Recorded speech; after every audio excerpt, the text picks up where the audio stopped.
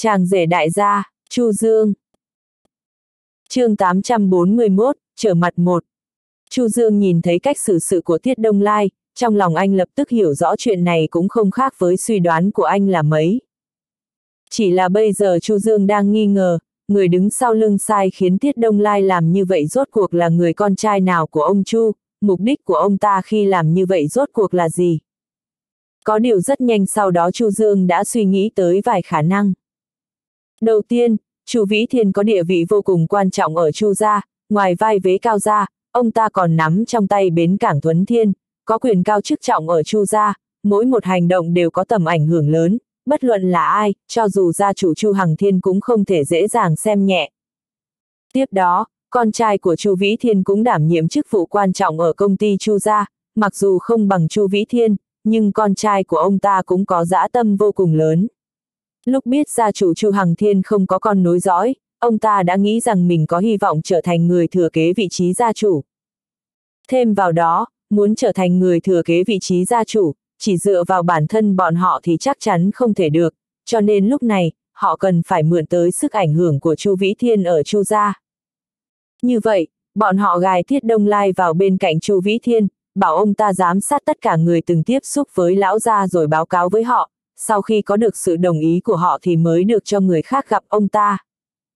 Cứ như thế, bọn họ có thể tránh việc những người khác trong chu gia gặp lão gia, tạo mối quan hệ với lão gia rồi có được sự ủng hộ của ông ta. Dù sao, chắc chắn ba người con của ông ta đều hiểu rõ về Chu Vĩ Thiên, biết lão gia không thích quyền thế, cũng sẽ không chủ động giúp bọn họ tranh giành vị trí người thừa kế Chu gia.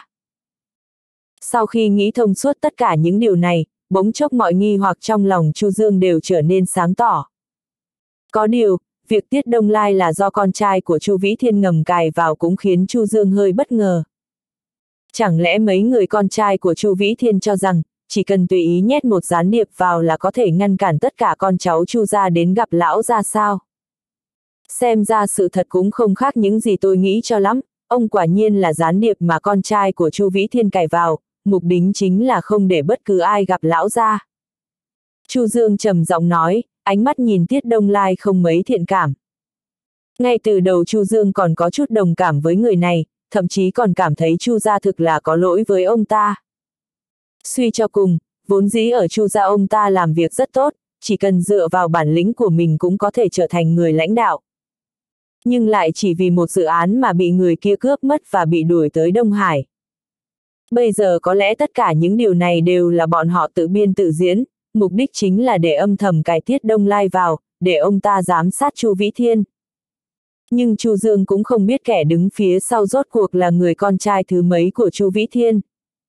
Chu Dương, nói như vậy, tất cả đều là do một trong số mấy người con trai của lão gia âm thầm sai khiến sao. Trần Thế Hào khẽ hỏi, ánh mắt ông nhìn Tiết Đông Lai có vẻ vô cùng xa lạ và buồn tẻ. Vốn dĩ hai người là bạn cũ đã mười mấy năm không gặp, bình thường nếu gặp lại sau khoảng thời gian lâu như vậy, chắc hẳn sẽ có rất nhiều điều muốn nói, tình bạn lúc đó cũng càng thêm khăng khít hơn. Nhưng Trần Thế Hào không ngờ rằng, lúc mình được gặp Tiết Đông Lai, lại có kết quả như hiện giờ. Dường như sau mười mấy năm không gặp, Tiết Đông Lai đã trở thành một người mà ông ấy không hề quen biết. Nếu mọi chuyện đều giống như Chu Dương nói, Tiết Đông Lai trước mặt ông cũng không còn là Tiết Đông Lai của trước kia nữa. Hơn nữa với phản ứng của Tiết Đông Lai, có thể thấy suy đoán của Chu Dương đến 8-9 phần là đúng. Điều này khiến trái tim của Trần Thế Hào lập tức rơi xuống đáy sâu. Ừ, nếu tôi đoán không lầm, sở dĩ ông ta cản trở chúng ta gặp lão gia, chắc chắn có liên quan tới mấy người con của Chu Vĩ Thiên. Chu Dương khẽ gật đầu, thản nhiên nói. Dẫu sao phản ứng ban nãy của Tiết Đông Lai cũng chứng minh rằng phán đoán của anh không khác là mấy. Chỉ là chúng ta vẫn không biết rốt cuộc là người con trai nào của lão gia làm như vậy, hay đây là việc mà cả ba người con của ông ta làm, dù sao thì lão gia có quyền cao chức trọng ở Chu gia, e rằng ba người con trai của ông ta cũng có dã tâm lớn. Chu Dương nhắc nhở, anh tin rằng với trí thông minh của Trần Thế Hào, chắc hẳn lúc này cũng đã nghĩ đến không ít chuyện, tâm trạng kích động khi gặp lại Tiết Đông Lai có lẽ cũng sẽ dịu xuống và trở nên tỉnh táo hơn.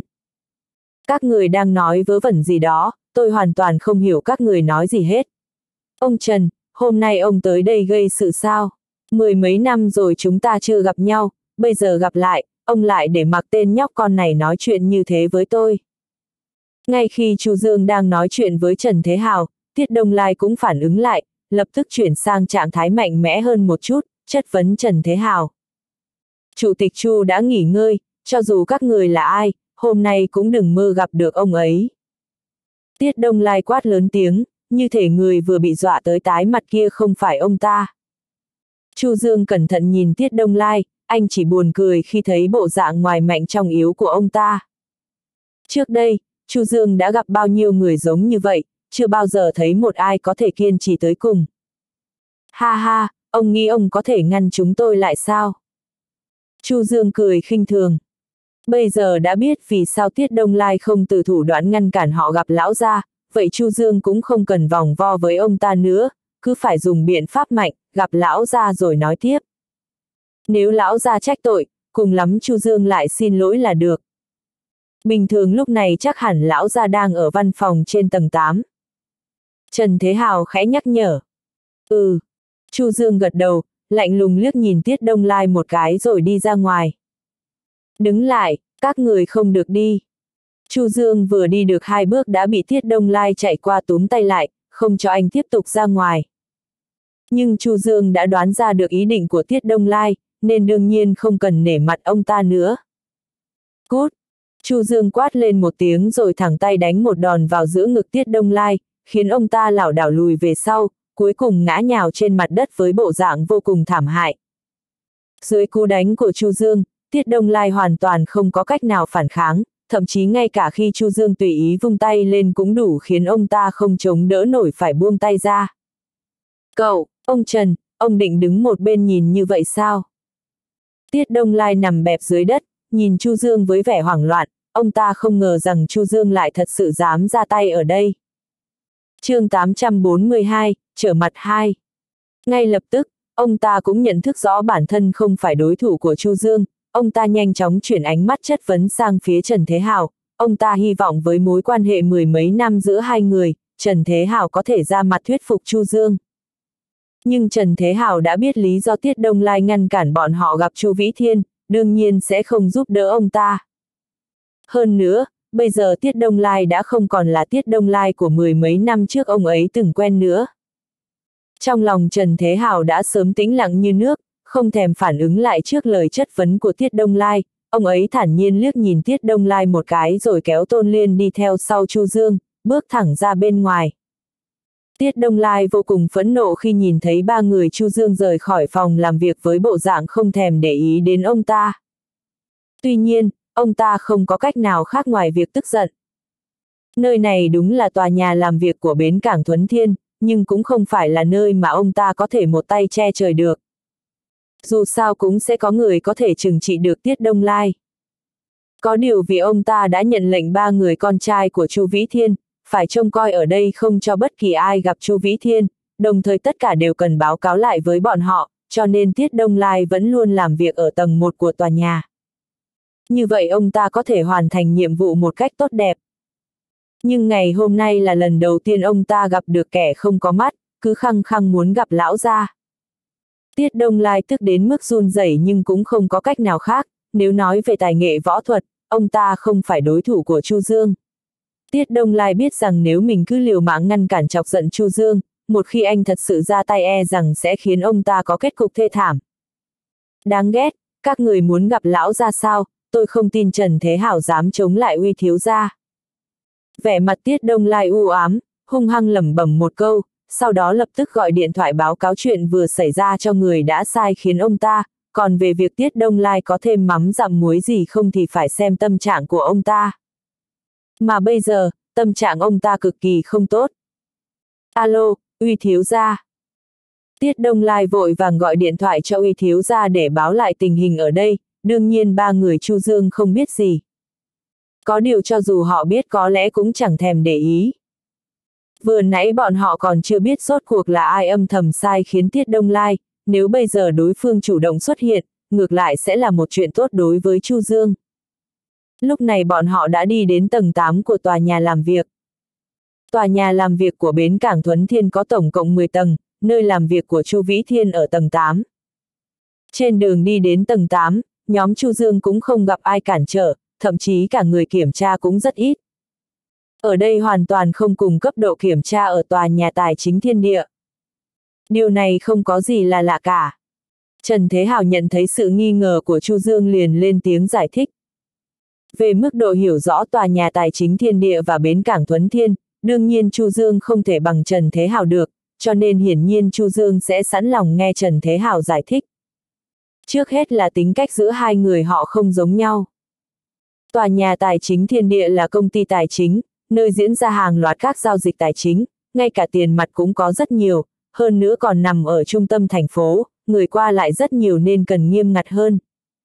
Bến cảng Tuấn Thiên này ở gần bờ sông, số lượng người qua lại đương nhiên sẽ ít hơn nhiều, hơn nữa người đến để giải quyết việc ở tòa nhà này phần lớn đều là người có quan hệ hợp tác chặt chẽ với bến cảng Tuấn Thiên, đám người tạp nham sẽ không đến đây, cho nên không cần kiểm tra nhiều. Rõ ràng còn có một điểm quan trọng nữa, đó chính là lập trường của hai vị chu lão gia này không giống nhau. Lão gia chu Vĩ Hải không có con nối dõi, nên không ít người có ý đồ với ông ấy, còn chu Vĩ Thiên có ba người con, chưa nói đến việc chu Vĩ Thiên có suy nghĩ như thế nào, cho dù có cũng phải vượt qua ngưỡng cửa là ba người con trai đó trước đã. Trần Thế Hào chậm rãi nói.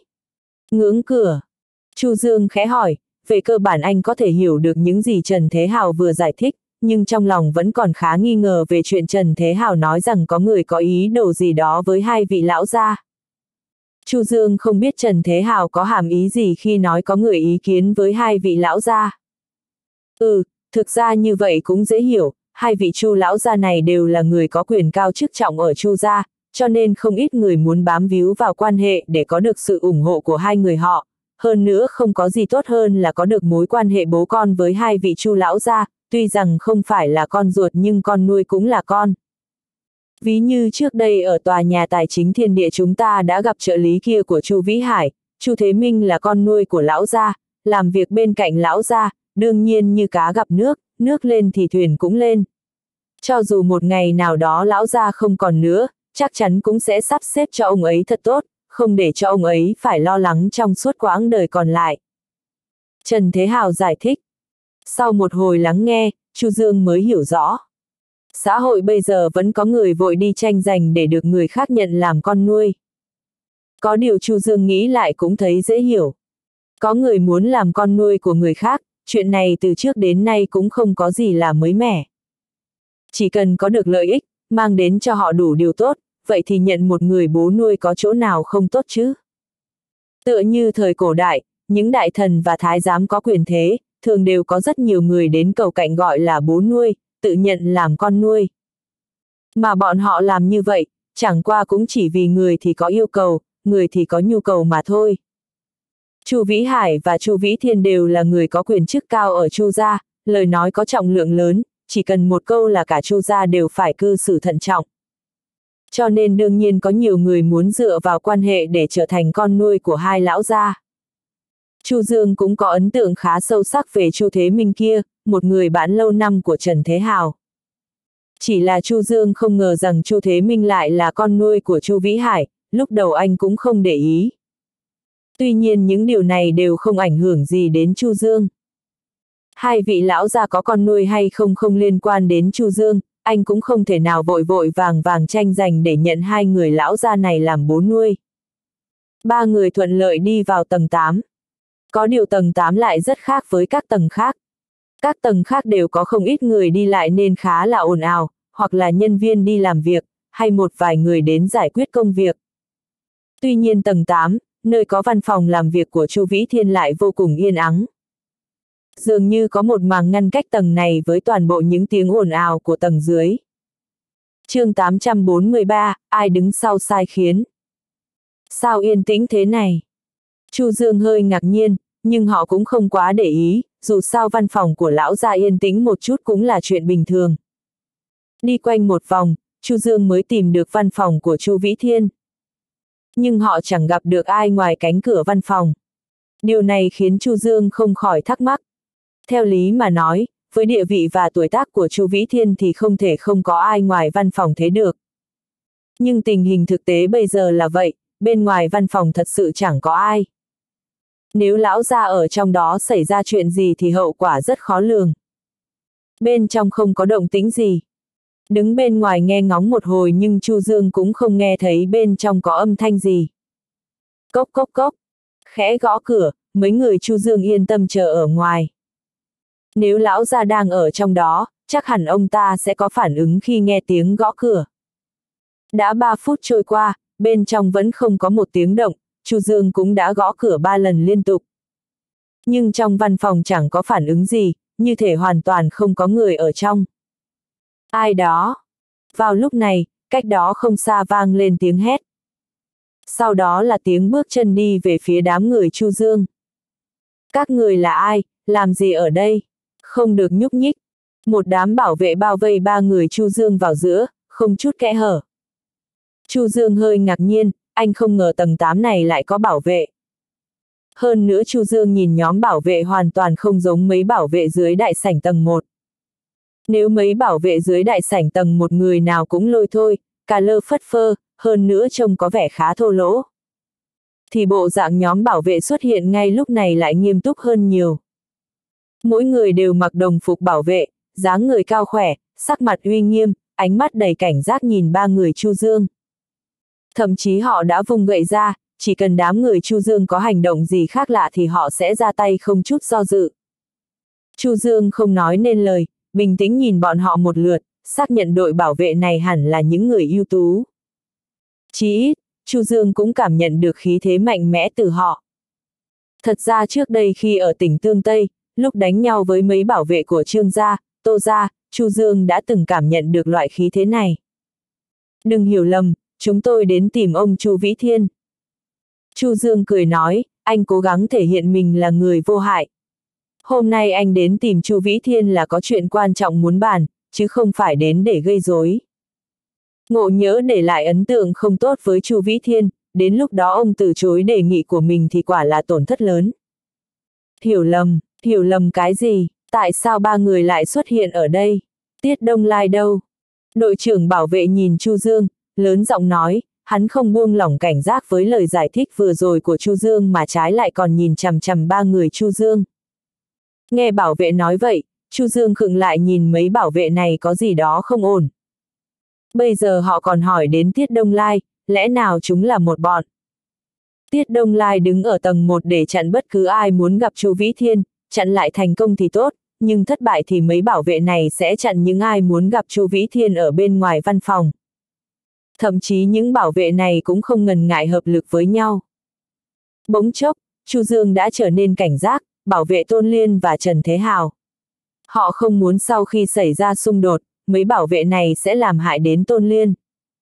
Tiết Đông Lai, chúng tôi đã nói với ông ta rồi, ông ta cũng đã đồng ý, nếu không sao chúng tôi có thể xuất hiện ở đây được, đúng không? Chu Dương cười nói, muốn đánh lạc hướng mấy bảo vệ này. Ha ha, anh cho rằng chúng tôi đều ngu hết à, cả gan xông vào đây, tất cả xông lên hết cho tôi. Đội trưởng bảo vệ ra lệnh, mấy bảo vệ kia bất chấp lao về phía ba người Chu Dương. Đội bảo vệ thêm tên đội trưởng kia tổng cộng có 13 người, có lẽ họ cho rằng tóm lấy ba người Chu Dương, đặc biệt trong đó còn có một người phụ nữ là chuyện quá đơn giản. Hừ, xem ra hôm nay không đánh nhau thì không gặp được lão gia rồi. Chu Dương khẽ nói, ngay sau đó anh không chút do dự, ra tay đánh trả. Nếu đối phương đã vô duyên vô cớ ra tay thì tất nhiên họ sẽ không khoanh tay chịu trận. Cút ngay. Khẽ quát một tiếng, Chu Dương nhanh chóng phản đòn. Vốn dĩ 12 bảo vệ kia cho rằng tóm lấy ba người Chu Dương là chuyện dễ như trở bàn tay, nhưng lúc Chu Dương và Trần Thế Hào bắt đầu đánh trả thì mọi chuyện dường như đã khác hoàn toàn. Thậm chí nếu Trần Thế Hào không ra tay chỉ đứng bên cạnh bảo vệ cho Tôn Liên thì dựa vào một mình Chu Dương cũng đã chặn được hết 12 bảo vệ phía trước. Bịch bịch bịch, chỉ trong vòng vài phút ngắn ngủi, 12 bảo vệ bị Chu Dương đánh ngã nhào xuống đất, sắc mặt ai nấy đều tái nhợt, kêu gào thảm thiết. Mà Chu Dương không hề nhẹ tay, ra tay rất nhanh và chuẩn xác, mỗi cú đánh đều nhắm vào bộ phận trọng yếu của đối phương, cố gắng đánh bại đối thủ bằng một đòn. Thế nên lúc này cánh tay của 12 bảo vệ này gần như không thể cử động được. Nhìn thấy cảnh tượng này, một chút hoảng sợ thoáng hiện trên khuôn mặt đội trưởng bảo vệ, ánh mắt nhìn Chu Dương trở nên vô cùng kinh ngạc. Hắn không ngờ bên mình tổng cộng 12 bảo vệ, cộng thêm hắn là 13 người, đối phương chỉ có 3 người, còn có một phụ nữ. Anh từng nghĩ đến hậu quả khi làm vậy chưa? Chủ tịch Chu trách tội thì các người sẽ chẳng có vị trí đứng ở Đông Hải rộng lớn này đâu. Đội trưởng bảo vệ ngoài mặt thì cứng rắn nhưng đã thầm sợ hãi, nhìn thấy một mình hắn không phải là đối thủ của Chu Dương nên đành phải lấy Chu Vĩ Thiên ra để hù dọa đối phương. Đáng tiếc lời nói này của hắn chẳng hề hấn gì với Chu Dương cả. Audio điện tử võ tấn bền Nhóm bảo vệ này và Tiết Đông Lai rõ ràng là đồng bọn, còn cái gọi là bảo vệ Chu Vĩ Thiên e rằng cũng chỉ là giám sát mà thôi. Tầng 1 có Tiết Đông Lai, tầng 8 có mấy bảo vệ này, bảo đảm hai tầng không cho người lạ gặp mặt Chu Vĩ Thiên, theo lời của ba đứa con trai của ông ta. Tôi không biết Đông Hải rộng lớn này có chỗ cho tôi dung thân hay không, nhưng tôi biết chắc nếu anh còn không mau cút đi thì hôm nay anh đừng hòng rời khỏi đây, cứ ở lại đây đi. Chu Dương lạnh lùng nói, làm thế chuẩn bị ra tay. Khoan đã, tôi đi, tôi đi. Đội trưởng bảo vệ vội xin tha mạng, khiếp sợ chạy xuống lầu. Nhưng lúc sắp rời đi, hắn bỗng quay lại hung ác nhìn Chu Dương. Các người đợi đấy, uy thiếu gia sẽ không tha cho các người đâu. chương 844, điều kỳ lạ của Chu Vĩ Thiên. Chu Dương yên lặng đứng tại chỗ, không đuổi theo hắn. Bởi vì vừa rồi đội trưởng bảo vệ kia nói ra một cái tên khiến Chu Dương rơi vào trầm tư. Uy thiếu gia, lẽ nào là người đứng sau xúi dục chúng, Chu Dương không quen thân gì với ba người con trai của Chu Vĩ Thiên nên anh không biết cái tên Uy thiếu gia trong lời của đối phương rốt cuộc là ai. Uy thiếu gia là con trai thứ hai của ông Chu, sắp xỉ tuổi của tôi, rất có dã tâm, cũng xem như là người có dã tâm nhất trong ba anh em họ. Trần Thế hảo bước đến, khẽ nói. Ông cũng không ngờ người đứng sau xúi dục kia lại là Chu huy Được rồi, đã không còn ai cản trở nữa, chúng ta xem xem lão gia có ở trong văn phòng không. Trần Thế Hào khẽ vỗ vai Chu Dương, bình thản nói. Vâng. Chu Dương trả lời, anh lại đến gõ cửa. Nhưng lần này Chu Dương vừa gõ cửa, bên trong vang lên một giọng nói. Vào đi, cửa không khóa. Chu Dương và Trần Thế Hào chố mắt nhìn nhau, cả hai đều thấy sự ngạc nhiên từ đôi mắt đối phương. Lúc nãy họ gõ cửa ba lần liên tiếp nhưng trong văn phòng không có phản ứng hay động tĩnh gì, họ còn nghĩ không có ai ở bên trong. Vừa đánh nhau với một đội bảo vệ, trong văn phòng vẫn không có bất kỳ tiếng động gì như trước. Nhưng bây giờ họ gõ cửa lần nữa thì một giọng nói vang lên từ trong văn phòng. Hơn nữa nghe giọng thì có vẻ là giọng của một ông lão. Chu Vĩ Thiên lão ra. Chu Dương không do dự đẩy cửa đi thẳng vào trong. Đến lúc ba người bước vào văn phòng thì thấy một ông lão hơn 70 tuổi đang ngồi sau bàn làm việc tựa lưng vào ghế mỉm cười nhìn ba người Chu Dương đang bước vào. Người này là Chu Vĩ Thiên sao? Chu Dương nhìn lão ra, trong lòng chỉ có một suy nghĩ như vậy. Người có thể ở trong văn phòng này hơn nữa người còn khá phù hợp với mọi thứ cũng chỉ có lão gia Chu Vĩ Thiên. Ha ha, đến thì tốt rồi. Nào, ngồi đi. Chu Vĩ Thiên có vẻ là người tương đối hòa nhã, cười bảo ba người Chu Dương ngồi xuống. Tất nhiên ba người Chu Dương sẽ không từ chối, đi đến ngồi xuống ghế sofa rồi cẩn thận quan sát Chu Vĩ Thiên. Chu Dương thầm cảm thấy kỳ lạ. Theo suy đoán của anh, ông ta sẽ vô cùng tức giận khi bị chính con trai mình sắp đặt như vậy, thậm chí còn sắp xếp hai người giám sát mình. Thế nhưng bây giờ xem ra lão ra dường như không để tâm đến chuyện này, trái lại còn khá vui vẻ như thể không có chuyện gì xảy ra cả. Ông Chu, ông đây là... Trần Thế Hào lên tiếng trước, dù sao trước đây ông ấy đã từng gặp Chu Vĩ Thiên, chứ không giống Chu Dương chưa từng gặp Chu Vĩ Thiên lần nào, nên khó mở lời hơn. Ha ha, Thế Hào à, không ngờ còn có thể gặp được cậu ở Đông Hải, không tồi. Chu Vĩ Thiên nhận ra Trần Thế Hào nên cười nói, nhưng không hề nhắc đến tình hình của mình. Cảnh tượng này cũng khiến Trần Thế Hào thầm cảm thấy khó hiểu. Ông ấy không ngờ Chu Uy làm vậy với Chu Vĩ Thiên mà lão gia lại không có ý kiến gì. Thậm chí Chu Vĩ Thiên chắc chắn cũng biết chuyện xảy ra hôm nay, nhưng ông ta lại chẳng hề nhắc đến cứ như không có chuyện gì xảy ra. Lẽ nào lão gia muốn bảo vệ Chu Uy? Ý nghĩ vừa xuất hiện đã bị Trần Thế Hào trực tiếp phủ nhận. Mặc dù ông ấy không tiếp xúc nhiều với Chu Vĩ Thiên nhưng cũng khá hiểu về lão gia. Năm đó khi còn ở thủ đô, ông ấy cũng từng tiếp xúc với lão gia không ít lần, nghe không ít chuyện về lão gia. Từ những chuyện đó, Trần Thế Hào cũng biết thật ra lão gia Chu Vĩ Thiên là một người không nhân nhượng với những chuyện không hợp lẽ thường. Nhưng hiện giờ, Trần Thế Hào im lặng, ông ấy không nói nữa mà đưa mắt nhìn Chu Dương. Tiếp đến nên để Chu Dương phát huy rồi. Mọi cử chỉ hành động của Trần Thế Hào đều lọt vào mắt Chu Vĩ Thiên, ông ta cũng thấy hơi lạ. Nhóc con mà Trần Thế Hào vừa nhìn sang kia rốt cuộc là ai, sao có cảm giác lần này họ đến đây là vì người thanh niên đó. Dĩ nhiên Chu Vĩ Thiên biết mười mấy năm trước, công ty Trần Gia của Trần Thế Hào cũng có ảnh hưởng rất lớn ở thủ đô. Nhưng sau đó vì một người phụ nữ mà phải rời khỏi thủ đô, chỉ không ngờ lại đến Đông Hải, mà hiện giờ còn đến văn phòng của mình. Chu Dương cảm nhận được ánh mắt của Trần Thế Hào, anh nghĩ thầm. Anh không hiểu nhiều về Chu Vĩ Thiên nên tất nhiên không thể phân tích toàn diện về lão gia. Nhưng đối mặt với tình hình hiện tại, Chu Dương biết một điều. Đó là tình bố con trên đời này hầu như đều có một điểm chung. Theo quan điểm của Chu Dương, khả năng sở dĩ lão gia Chu Vĩ Thiên không nhắc đến Chu Uy là vì ông ta không muốn đối phó với con trai mình, mà ông ta cũng sẵn lòng bị Chu Uy sắp đặt như vậy. Chu Dương bỗng cảm thấy chuyện này hết sức nan giải, anh muốn điên cuồng làm lớn chuyện để tìm bước đột phá. Thời gian từng phút trôi qua, Chu Dương vẫn không lên tiếng. Trần Thế Hào và Tôn Liên lo lắng nhìn nhau. Nếu Chu Dương không thể thuyết phục được Chu Vĩ Thiên, vậy thì mục đích hôm nay đến đây xem như thất bại, hơn nữa cũng sẽ có tổn thất không nhỏ với những việc họ sẽ làm tiếp theo. Chu Vĩ Thiên lão gia, tôi tự giới thiệu, tôi là Chu Dương, không biết ông có biết không, chúng tôi đã vượt qua hai màn rào chắn mới có thể ngồi ở đây gặp được ông. Rào chắn đầu tiên là ở tầng 1, Tiết Đông Lai ngăn cản không cho chúng tôi gặp ông.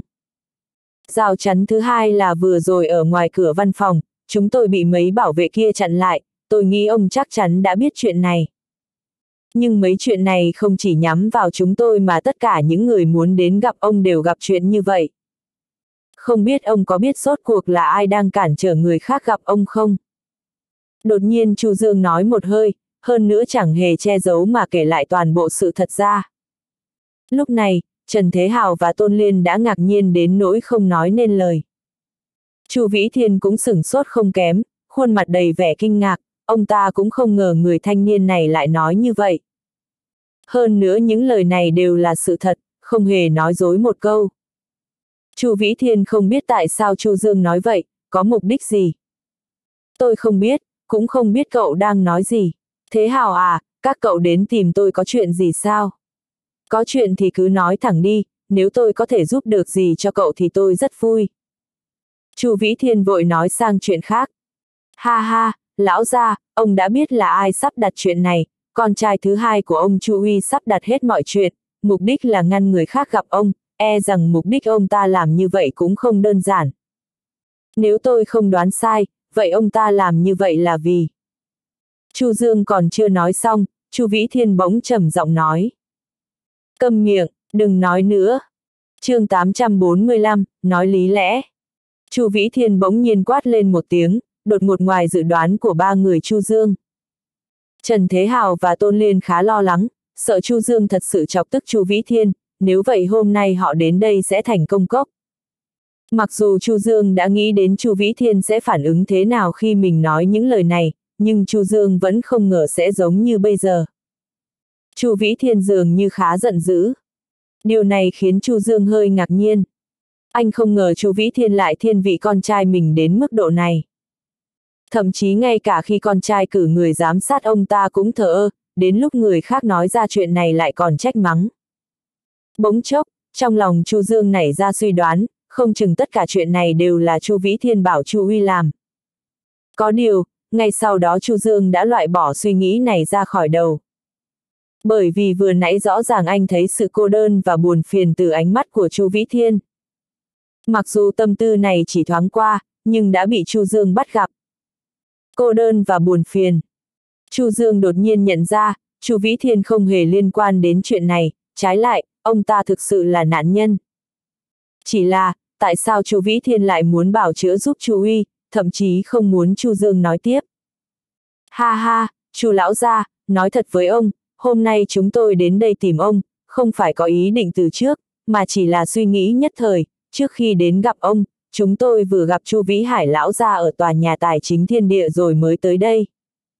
Chúng tôi đến chỉ vì muốn gặp ông, không hề có ý gì khác, càng không hề muốn xảy ra bất cứ xung đột lợi ích nào với con trai ông. Chu Dương chậm rãi nói.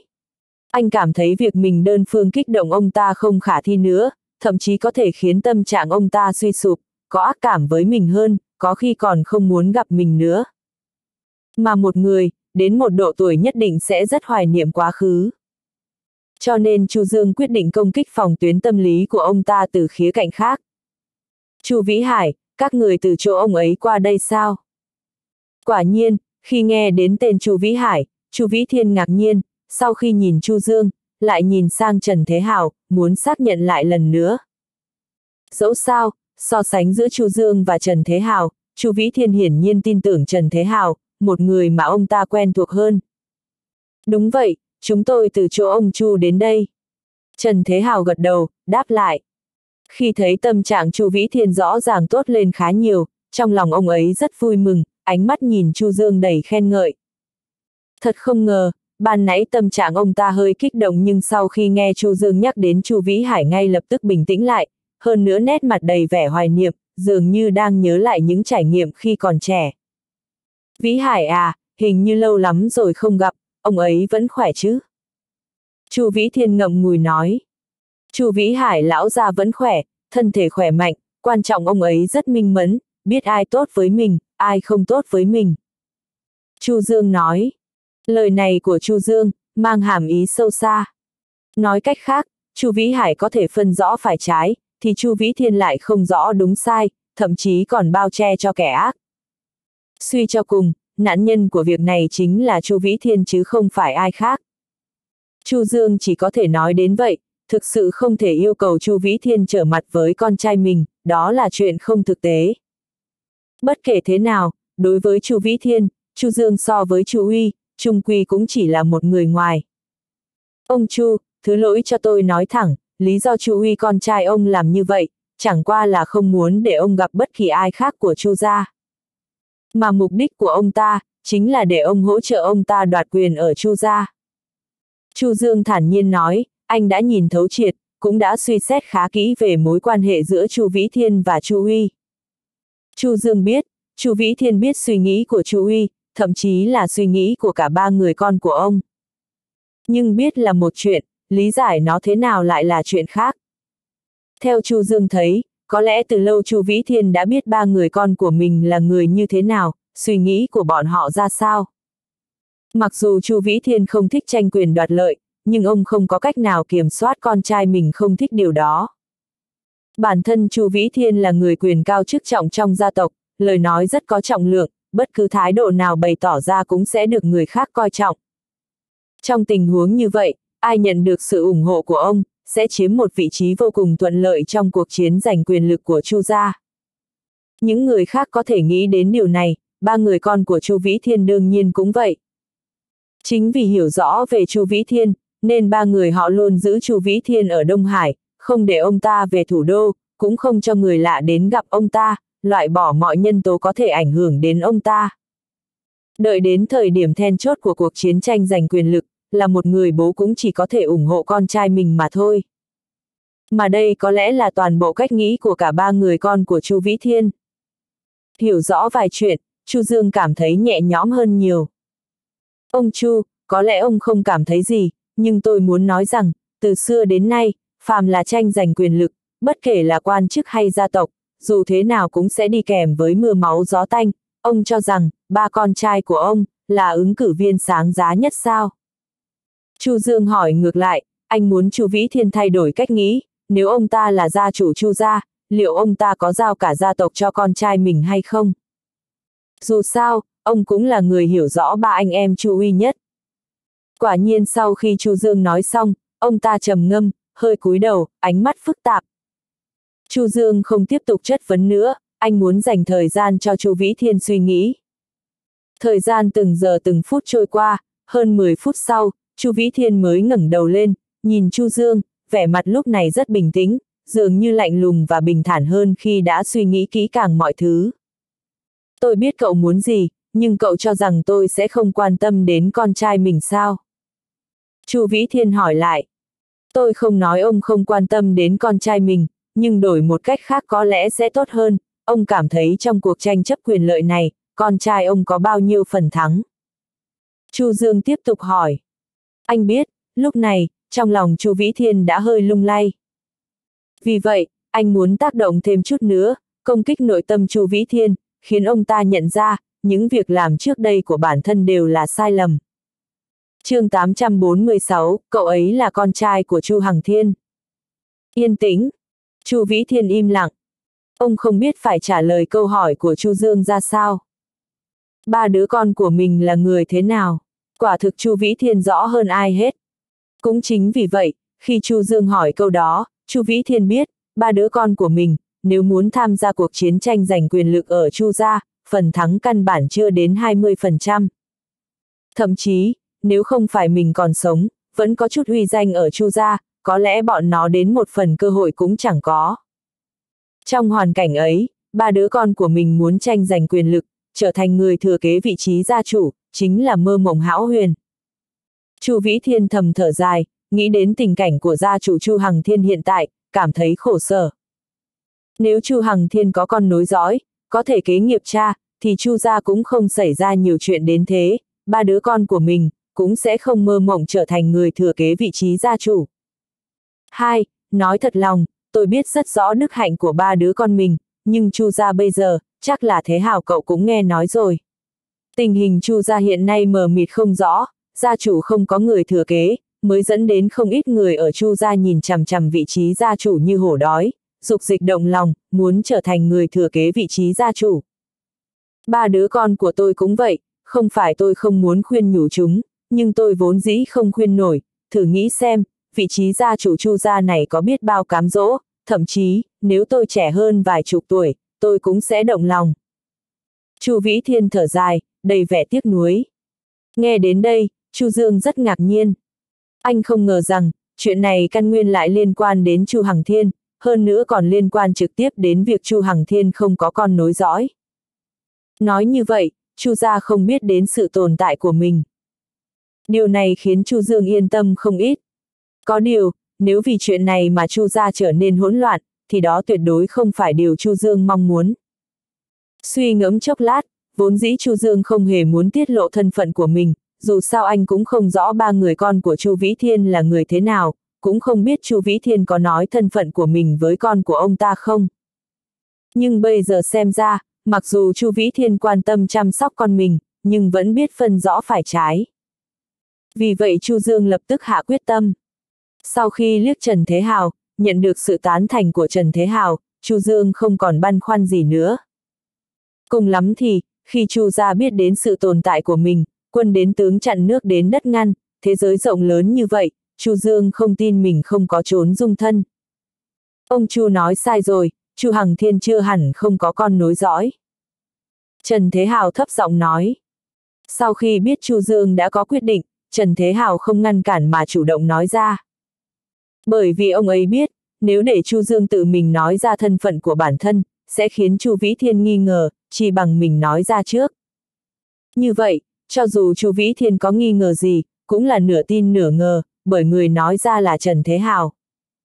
Trần Thế Hào muốn Chu Vĩ Thiên nửa tin nửa ngờ. Cậu nói cái gì? Chu Vĩ Thiên kinh ngạc, đột ngột đứng bật dậy, ánh mắt sáng rực nhìn chằm chằm Trần Thế Hào, tựa như muốn nhìn thấu Trần Thế Hào từ trong ra ngoài. Thế Hào, cậu nói vậy là có ý gì? Chu Vĩ Thiên rất bất ngờ, ông ta không biết vì sao Trần Thế Hào lại nói những lời này, nhưng ông ta biết, lời Trần Thế Hào nói không phải là vu vơ không mục đích.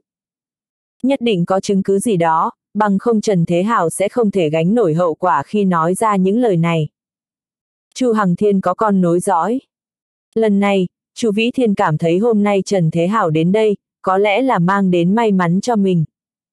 Trước mắt mặc dù Chu gia vẫn là một trong bốn gia tộc lớn ở thủ đô, thực lực rất mạnh. Nhưng vì gia chủ Chu Hằng Thiên không có con nối dõi, trên dưới Chu gia đều dục dịch nhăm nhe. Đặc biệt là sau khi phu nhân của gia chủ qua đời, Chu Hằng Thiên chỉ có một cô con gái duy nhất là Thủy Băng Nguyệt, có không ít người Chu gia nhòm ngó vị trí gia chủ, tới tấp liên kết các bên muốn tranh giành vị trí gia chủ. Mà ba đứa con của Chu Vĩ Thiên cũng là một trong số đó. Cục diện này khiến tình hình Chu gia hiện tại rất tệ, sự phát triển sản nghiệp gia tộc cũng bị ảnh hưởng, tổn thất không ít. Căn nguyên của mọi chuyện đều là vì Chu Hằng Thiên không có người thừa kế. Nhưng nếu Chu Hằng Thiên có con nối dõi, thì vị trí gia chủ đã được quyết định, người khác sẽ không nảy sinh suy nghĩ tranh đoạt, Chu gia cũng không có bất kỳ rối ren nào.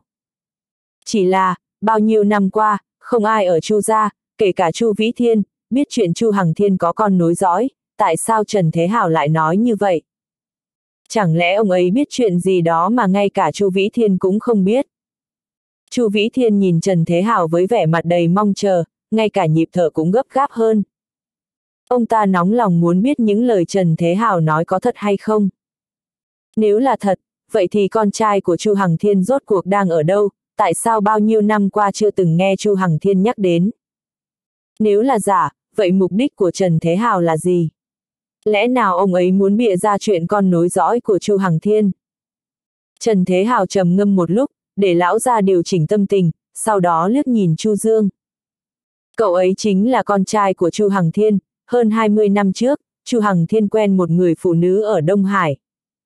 Trần Thế Hào nhìn Chu Dương, chậm rãi nói, từ từ kể hết mọi chuyện xảy ra với Chu Hằng Thiên hơn 20 năm về trước ở Đông Hải. Mà lúc này cũng là lần đầu tiên Chu Dương nghe được toàn bộ câu chuyện trong quá khứ.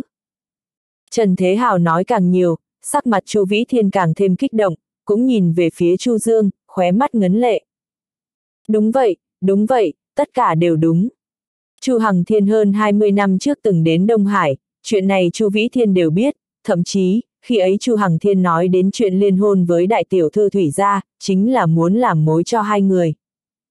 Nhưng lúc đó, họ không ngờ rằng, Chu Hằng Thiên chỉ đi Đông Hải một chuyến, lại phải lòng một người phụ nữ, còn làm người đó có thai. Thế nhưng khi Chu Hằng Thiên rời khỏi Đông Hải quay về thủ đô, bọn họ không nghe thấy Chu Hằng Thiên nhắc đến chuyện này nữa. Cho nên người phụ nữ Chu Hằng Thiên yêu đã mang thai, sinh ra một bé trai, trên dưới Chu gia không một ai biết. Thậm chí, có lẽ chính Chu Hằng Thiên cũng không hề hay biết gì. Chính là cậu ấy, cậu ấy chính là con trai của Chu Hằng Thiên. Chu Vĩ Thiên nhìn Chu Dương, run rẩy vươn tay ra, muốn chạm vào Chu Dương. Trần Thế Hào liếc Chu Dương một cái, Chu Dương lập tức chủ động tiến lên, nắm lấy tay ông ta, bàn tay lạnh ngắt nhưng mạch đập rất ổn định. chương 847, kích động suýt nữa gây họa. Giống, giống lắm, giống đến bảy tám phần với lúc Hằng Thiên còn trẻ. Chu Vĩ Thiên rất kích động, nắm lấy tay Chu Dương, biểu cảm trên khuôn mặt vô cùng kỳ lạ, vừa kích động, vừa vui mừng, vừa cảm động, vừa hối hận, các kiểu cảm xúc phức tạp hiện rõ khiến gương mặt ông hơi khó coi. Hằng Thiên có biết không? Bỗng nhiên Chu Vĩ Thiên nghĩ ra gì đó liền vội vàng hỏi. Trần Thế Hào nói thanh niên này là con nối dõi của Chu Hằng Thiên, Chu Vĩ Thiên đã tin là thật, Chu Dương giống bảy tám phần với lúc Chu Hằng Thiên còn trẻ, nếu điều này vẫn không thể xác nhận, vậy Chu Vĩ Thiên không biết ai có thể tìm được lý do khác để phủ nhận. Không tin nữa thì cùng lắm là làm xét nghiệm quan hệ bố con, dù sao chân tướng cũng phơi bày ngoài ánh sáng cả rồi. Chỉ là nhiều năm như vậy, trước nay ông chưa từng nghe Chu Hằng Thiên nhắc đến, chỉ sợ ngay cả bản thân Chu Hằng Thiên cũng không biết hơn 20 năm trước mình có một đứa con trai do một người phụ nữ Đông Hải sinh ra. Ông ấy chắc đã biết, trước kia tôi đã từng gặp băng nguyệt rồi, cũng là cô ấy nói với tôi những tình trạng của bố. Chu Dương do dự chốc lát, vẫn nói ra sự thật. Quả thật anh chưa gặp Chu Hằng Thiên, nhưng điều này không nói lên Chu Hằng Thiên không biết sự tồn tại của anh. Chưa nói đến việc trước kia anh đã từng gặp Thủy Băng Nguyệt, mà trong lời nói của Thủy Băng Nguyệt Chu Dương biết, thật ra Chu Hằng Thiên biết đến sự tồn tại của mình, thậm chí nhiều năm như vậy, Chu Hằng Thiên vẫn luôn âm thầm bảo vệ mẹ con họ. Bây giờ Chu Dương nghĩ kỹ lại, hơn 20 năm qua, tuy mình và mẹ sống nương tựa lẫn nhau, cuộc sống vô cùng khó khăn, nhưng dường như chưa từng gặp phải chuyện lớn gì khiến mẹ con họ phải bó tay hết cách. Thậm chí nhiều lúc gặp phải chút phiền phức đều được giải quyết rất nhanh, ngay cả mẹ con họ cũng cảm thấy kỳ lạ. Bây giờ nghĩ lại đó hẳn là Chu Hằng Thiên sắp xếp người bên cạnh họ, để bảo vệ họ. Thủy băng nguyệt, Thì ra cậu đã gặp con bé, vậy thì chắc chắn Hằng Thiên cũng biết, Hằng Thiên có con nối dõi, lần này Chu gia sẽ không loạn nữa rồi. Chu Vĩ Thiên cười nói, vô cùng kích động, đi qua đi lại. Đúng rồi, tôi muốn nói chuyện này với bọn Chu Uy, để chúng nó từ bỏ ý nghĩ tranh giành vị trí gia chủ. Bất thình lình Chu Vĩ Thiên vỗ tay mạnh một cái rồi nói. Khiến Chu Dương và Trần Thế Hào bị dọa đến mức giật cả mình. Nếu lúc này Chu Vĩ Thiên nói chuyện này với con trai của mình, vậy hậu quả thế nào, Chu Dương căn bản không đoán được. Thậm chí ba đứa con trai của Chu Vĩ Thiên sẽ thông đồng với những người muốn tranh chức gia chủ khác, dẫn đầu giết chết đứa con nối dõi của Chu Hằng Thiên, để giải quyết mối đe dọa của bọn họ. Không được, ông Chu, không thể được. Chu Dương và Trần Thế Hào vội ngăn cản. Ông Chu, chuyện này ông tuyệt đối không thể nói với người nào khác. Trần Thế Hào vội nói, giọng điệu vô cùng nghiêm trọng, biểu cảm cũng rất nghiêm túc. Sao vậy? Chu Vĩ Thiên hơi bất ngờ, theo lý mà nói, chuyện Chu Hằng Thiên có con nối dõi, phải nên nhanh chóng cho Chu ra biết, để chuẩn bị thật tốt mọi việc. Nhưng bây giờ Trần Thế Hào và Chu Dương lại cùng nhau từ chối. Có ý gì đây? Lẽ nào đây là hai người họ hợp tác với nhau lừa gạt ông già như mình? Bỗng chốc, trong lòng Chu Vĩ Thiên xuất hiện rất nhiều ý tưởng và suy nghĩ. Có điều những ý tưởng và suy nghĩ này đều nhanh chóng biến mất toàn bộ. Bởi vì ông ta biết, chuyện này vô cùng quan trọng, chưa kể Trần Thế Hào không dám nói dối, cho dù ông ấy nói dối, muốn vạch trần cũng vô cùng dễ dàng, chỉ cần một xét nghiệm đơn giản, mọi lời nói dối đều giải quyết dễ dàng. Nhưng nếu tất cả đều là thật, vậy tại sao hai người này đều ngăn cản mình nói với con trai chứ?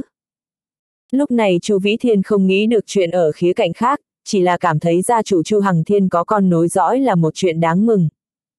Ông Chu, tôi biết ông rất vui rất kích động, rất muốn chia sẻ tin này ra ngoài đầu tiên, nói với người khác, nhưng thật sự không thể được.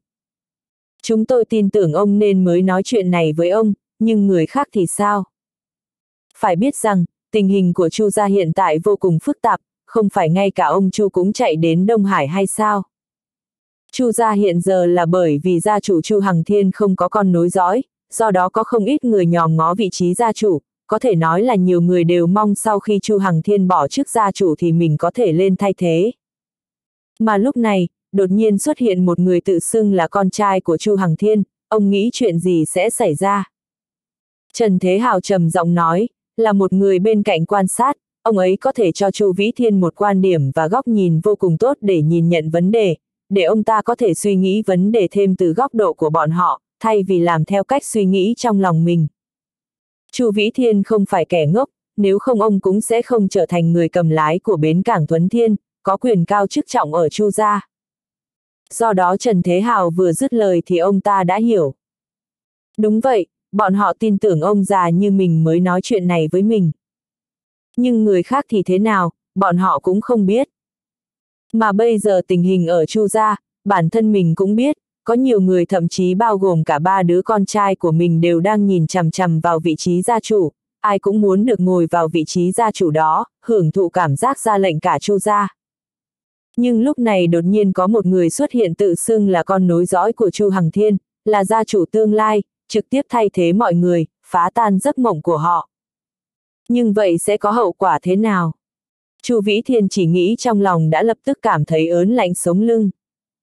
Lúc này ông mới ý thức được, nếu không phải Chu Dương và Trần Thế Hào ngăn cản kịp thời, một khi mình nói ra chuyện này với con trai, vậy hậu quả ngay cả bản thân Chu Vĩ Thiên cũng không thể đoán được. Đến lúc đó vì lợi ích của bản thân, những người đó chắc chắn sẽ là người đầu tiên hợp tác ra tay với Chu Dương, đuổi Chu Dương ra khỏi Chu gia, thậm chí khiến cho Chu Dương biến mất khỏi thế giới này. Chu Vĩ Thiên biết những người này chắc chắn có thể làm ra chuyện như vậy. Để đạt được mục đích của mình, bọn họ sẽ dở mọi mánh khóe, không từ thủ đoạn, cũng là hết sức bình thường. Tôi biết rồi, cũng may hai người ngăn chặn kịp thời, bằng không nếu tôi thật sự nói chuyện này với bọn Chu Huy, hậu quả khó lường, như thế tôi căn bản không còn mặt mũi nào để đối mặt với liệt tổ liệt tông của Chu gia rồi. Khuôn mặt Chu Vĩ Thiên đầy thương cảm ngậm ngùi, đáy mắt lóe lên chút bi thương và hiu quạnh. Lão gia, trên thực tế bây giờ người biết chuyện này cũng không có mấy người, mà bọn họ đều là người tôi tin tưởng tuyệt đối, thân phận của tôi bây giờ nhất định không thể để bên ngoài biết được, vì thế mong ông nhất định phải giữ bí mật. chương 848, lời hứa. Vẻ mặt Chu Dương rất nghiêm túc, trịnh trọng nói. Thực ra anh không thể không thận trọng như vậy. Thân phận của anh rất quan trọng, một khi lộ tẩy, bị những người có ý đồ xấu biết, hậu quả sẽ vô cùng khó lường. Chu Dương chỉ cần nghĩ kỹ một chút là biết, sau khi mọi người trong Chu gia biết thân phận mình, bọn họ sẽ phản ứng như nào, còn anh bị cuốn vào vòng xoáy nào. Chu Vĩ Thiên nghe thấy vậy cũng sững sờ. Dù sao lão gia cũng không phải người thường, nhanh chóng nghĩ thông suốt, khuôn mặt lộ rõ sự ái náy, ánh mắt nhìn Chu Dương giờ cũng sáng rực. Chu Vĩ Thiên không ngờ Chu Dương còn trẻ mà suy nghĩ thấu đáo như vậy, phương diện nào cũng cân nhắc cẩn thận. Có thể nói, chỉ cần ông ta không mắc sai lầm gì lớn, căn bản sẽ không xảy ra chuyện gì. Sau khi nghĩ thông suốt, Chu Vĩ Thiên cũng bỏ qua ý định nói rõ thân phận của Chu Dương với ba đứa con trai của mình. Dù sao, Chu Vĩ Thiên cũng không hiểu rõ hơn ai hết về con trai mình. Vừa nãy ông ta quá kích động nên không suy nghĩ kỹ. Nhưng giờ nhận ra, dựa vào tính cách ba đứa con trai của mình, một khi biết thân phận của Chu Dương nhất định sẽ không để yên, mà làm ra những chuyện không ai kịp trở tay. Đến lúc đó, lỡ Chu Dương có bị làm sao, Chu Vĩ Thiên sợ mình hối hận cũng không kịp. Được, được rồi, may có cậu, không tôi lại mắc phải sai lầm lớn. Lão ra vỗ vai Chu Dương, mỉm cười kéo anh ngồi xuống. Tán gẫu vài chuyện, bầu không khí giữa hai người họ đã tốt hơn rất nhiều. Chu Vĩ Thiên bắt đầu hỏi Chu Dương chuyện trong quá khứ, mà anh cũng tự nhiên không giấu giếm, kể dành mạch hết mọi chuyện trong hai mươi mấy năm qua ở cùng mẹ. Dĩ nhiên, phần lớn đều là chuyện cuộc sống bình thường, không liên quan đến người khác. Những chuyện này, lúc trước ở chỗ Chu Vĩ Hải, Chu Dương cũng đã kể với ông ta, giờ chỉ lặp lại thôi. Chu Vĩ Thiên nghe vậy, mặt đầy cảm xúc, như thể trong đầu ông ta, toàn bộ hai mươi mấy năm trải nghiệm cuộc sống của Chu Dương đang được tái hiện lại rõ nét. Vốn dĩ là như vậy, lần này chúng tôi tới tìm ông là muốn thỉnh cầu ông giúp đỡ. Chu Dương trầm giọng nói, thấy rõ sự tò mò trên mặt Chu Vĩ Thiên thì không có ý định từ chối nữa, trong lòng nghĩ rằng nhất định anh phải nói ân oán giữa mình và hứa ra cho ông ta nghe. Đương nhiên, cũng như lúc trước, Chu Dương vẫn giấu nhẹ nguyên nhân hứa ra tới gây sự với mình. Hỗn láo, đáng ghét. Quả nhiên sau khi nghe Chu Dương nói, sắc mặt Chu Vĩ Thiên thay đổi hoàn toàn, đập mạnh tay lên ghế sofa, khuôn mặt tức giận. Lời Chu Dương kể, cũng không thêm nếm nhiều nội dung khác, hoàn toàn chỉ kể lại chuyện gặp nhau trước đây, nhất là chuyện hứa ra trắng trợn dở trò với công ty danh dương của anh. Chỉ vậy đã đủ khiến Chu Vĩ Thiên vô cùng phẫn nộ. Chu Vĩ Thiên có thể từng tiếp xúc với gia tộc ẩn giật hứa ra, hơn nữa dựa vào thân phận và địa vị của ông ta, đương nhiên biết một chút về lai lịch của hứa gia. Lúc này đột nhiên nghe thấy lời Chu Dương, hứa gia kia dám động đến người của Chu Dương, hơn nữa đó còn là con trai của gia chủ Chu gia Chu Hằng Thiên, điều này cực kỳ hỗn xược, muốn tuyên chiến với Chu gia hay sao? Chu Vĩ Thiên có tư cách để tức giận, vì địa vị ông ta rất cao, nhiều tai mắt trong nhà. Mà dựa theo vai vế, cũng là bậc trên của gia chủ Chu gia đương thời, hơn nữa cũng kết tình bằng hữu với nhiều người già khác trong hứa gia. Bây giờ, hứa gia lại dám đối xử với người của Chu gia như vậy, đó là gia chủ tương lai của Chu gia, nên ông ta rất tức giận. Chu Dương, cậu muốn tôi làm gì? Hứa Gia như vậy là vô cùng láo xược, không coi Chu gia ra gì sao? Lão gia trầm giọng nói, vẻ mặt chăm chú, khí thế trên người trở nên hùng hậu, giống như một ngọn núi lớn nguy nga sừng sững. Chu Dương khẽ mỉm cười, vô cùng hài lòng trước thái độ của Chu Vĩ Thiên, đồng thời càng thêm phần kính nể tính cách của ông ta.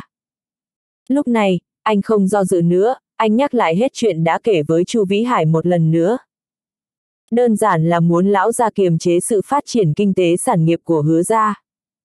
Dù hứa gia là gia tộc ẩn giật, thực lực mạnh mẽ, nhưng dù sao ẩn giật mấy chục năm giờ mới xuất hiện, nên chắc chắn có nhiều chuyện không kịp xử lý, thậm chí, giống như chuyện sản nghiệp, e là không phải một lúc là có cách giải quyết ngay. Mà Chu Dương muốn hạ gục hứa ra hoàn toàn, thì phải đánh cả hai phương diện võ lực và kinh tế. Ở phương diện võ lực, Chu Dương tự thấy không có vấn đề, không chỉ có người bên hổ ra, tô ra, rồi còn những người bên cạnh anh, so với võ lực đỉnh cao của hứa ra hoàn toàn không có vấn đề gì. Còn lại, là muốn đàn áp lên phương diện kinh tế của hứa ra. Sau nửa giờ, Chu Dương mới nói xong vài bố trí và kế hoạch của mình. Ánh mắt Chu Vĩ Thiên nhìn Chu Dương ngày càng sáng rực, nhất là lúc Chu Dương đưa ra các ý định rõ ràng, nên làm gì, cần làm như nào mới hiệu quả để đối phó với hứa ra, anh đều trình bày cụ thể mạch lạc. Chỉ cần Chu Vĩ Thiên làm mọi chuyện theo đúng ý anh, vậy là đã nắm chắc phần thắng. Tốt lắm, hiếm thấy người nào suy nghĩ chu toàn như cậu. Lão gia tán thưởng, nụ cười trên mặt ngày càng tươi. Đối với lão gia, hôm này có hai thứ làm ông cao hứng kích động. Thứ nhất, là biết được gia chủ Chu Hằng Thiên có con trai, tức là gia chủ tương lai đang khỏe mạnh, tài giỏi hơn người đứng trước mặt mình. Thứ hai, là cách Chu Dương đối nhân xử thế, suy nghĩ chu toàn, khác hẳn với một số ít con nhà giàu học hành ngu dốt, không có trí lớn. Chu Dương hoàn toàn ngược lại, suy nghĩ thâm sâu. Ít ra, Chu Vĩ Thiên ấn tượng rất tốt với biểu hiện của Chu Dương trước mặt, tốt hơn nhiều so với những người trẻ khác trong Chu gia. Còn như ba đứa con trai của mình, đúng là chẳng ra gì khi so sánh với Chu Dương. Bây giờ, trong lòng ông ta nghĩ muốn khuyên nhủ con trai mình thật tốt, để họ buông tha cuộc tranh đấu vị trí gia chủ, tập trung làm ăn kinh doanh. Ở Chu gia cũng không làm mai một tài năng bọn họ, còn bọn họ thì luôn có chỗ đứng. Cậu yên tâm, đến lúc phải làm, cậu cứ nói với tôi, tôi sẽ dốc hết sức lực. Nếu Chu Vĩ Hải làm được thì tôi cũng làm được, yên tâm đi. Chu Vĩ Thiên chân thành đưa ra lời bảo đảm. Được sự bảo đảm từ lão gia, ba người Chu Dương rất cao hứng, nụ cười trên mặt ngày càng tươi. Vậy thì cảm ơn ông Chu rồi. chương 849, thất bại. Hai người họ cũng bàn bạc thêm vài chuyện, thấy trời đã khuya, thần sắc Chu Vĩ Thiên không còn tốt nữa, ba người Chu Dương định cáo từ. Nhưng vì thể chất của lão gia không tiện, thường ngủ trong phòng làm việc, nên trong phòng làm việc mới thường có vách ngăn. Chu Dương phục vụ Chu Vĩ Thiên chu đáo, chờ ông ta chìm vào giấc ngủ rồi mới cùng Tôn Liên và Trần Thế Hào rời đi. Lúc này, trong đại sảnh tầng 1 của tòa nhà làm việc tại bến cảng Thuấn Thiên vẫn rất ồn ào, người người tới đây làm việc nườm nượp không nghỉ. Chu Dương nhìn xung quanh, không thấy mấy nhân viên bảo vệ, mà cũng không thấy Tiết Đông Lai, nên nghĩ chắc giờ bọn họ về rồi. Rời khỏi bến cảng Thuấn Thiên, nhóm Chu Dương không đi đến địa điểm tiếp theo, mà nghỉ ngơi tại một khách sạn. Lúc này trời đã tối, không thích hợp để đi tìm người khác. Một đêm yên lặng. Ngày hôm sau, Chu Dương dậy rất sớm. Sắc trời không tệ, không khí cũng mát mẻ. Ba người họ ăn điểm tâm rồi đi thẳng tới địa điểm tiếp theo. Theo kế hoạch của Trần Thế Hào, trừ tòa nhà tài chính thiên địa đầu tiên và bến cảng Thuấn Thiên là vô cùng quan trọng, thì địa điểm còn lại, dù cũng có thể trợ giúp lực lượng cho Chu Dương, nhưng tác dụng không nhiều, cùng lắm là hô hào để tăng khí thế thôi. Nếu muốn lấy đá trọi đá với hứa ra, không thể dựa vào thứ như vậy. Do đó trong lòng Chu Dương lúc đầu không quá để tâm, nên cũng chỉ tính cho có sự hiện diện của bọn họ. Nhưng anh không ngờ, Trần Thế Hào lại nói, không dựa vào mấy người này được, bọn họ vẫn có ý đồ. Từ sáng sớm đến tối mịt, ánh trăng đã sáng rực trên cao, một ngày có 12 giờ, bọn họ phải tiếp xúc gần 10 công ty, toàn bộ đều từ chối. Những người này ít nhiều đều biết Tôn Liên và Trần Thế Hào, thấy hai người họ cùng tới đây thì cũng tôn trọng, đích thân đón tiếp. Nhưng Chu Dương thấy vẻ mặt bọn họ nóng vội không kiên nhẫn, như thể sự xuất hiện của Trần Thế Hào và Tôn Liên sẽ gây ra ảnh hưởng không tốt đến bọn họ. Trong lời bọn họ nói, Chu Dương nghe được không ít lời bóng gió. Những người này tình nguyện tiếp đón Trần Thế Hào và Tôn Liên bởi vì thân phận Trần Thế Hào, là người Trần gia ở thủ đô. Nếu chỉ nhìn vào quan hệ giữa Chu gia và Trần Thế Hào, bọn họ thậm chí cũng không muốn đối diện với Trần Thế Hào và Tôn Liên.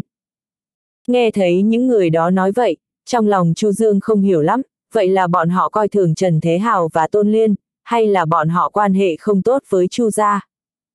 Bọn họ là chi trưởng của Chu gia, có thể quản lý công ty xí nghiệp của Chu gia ở Đông Hải, trong Chu gia được hậu thuẫn tin tưởng.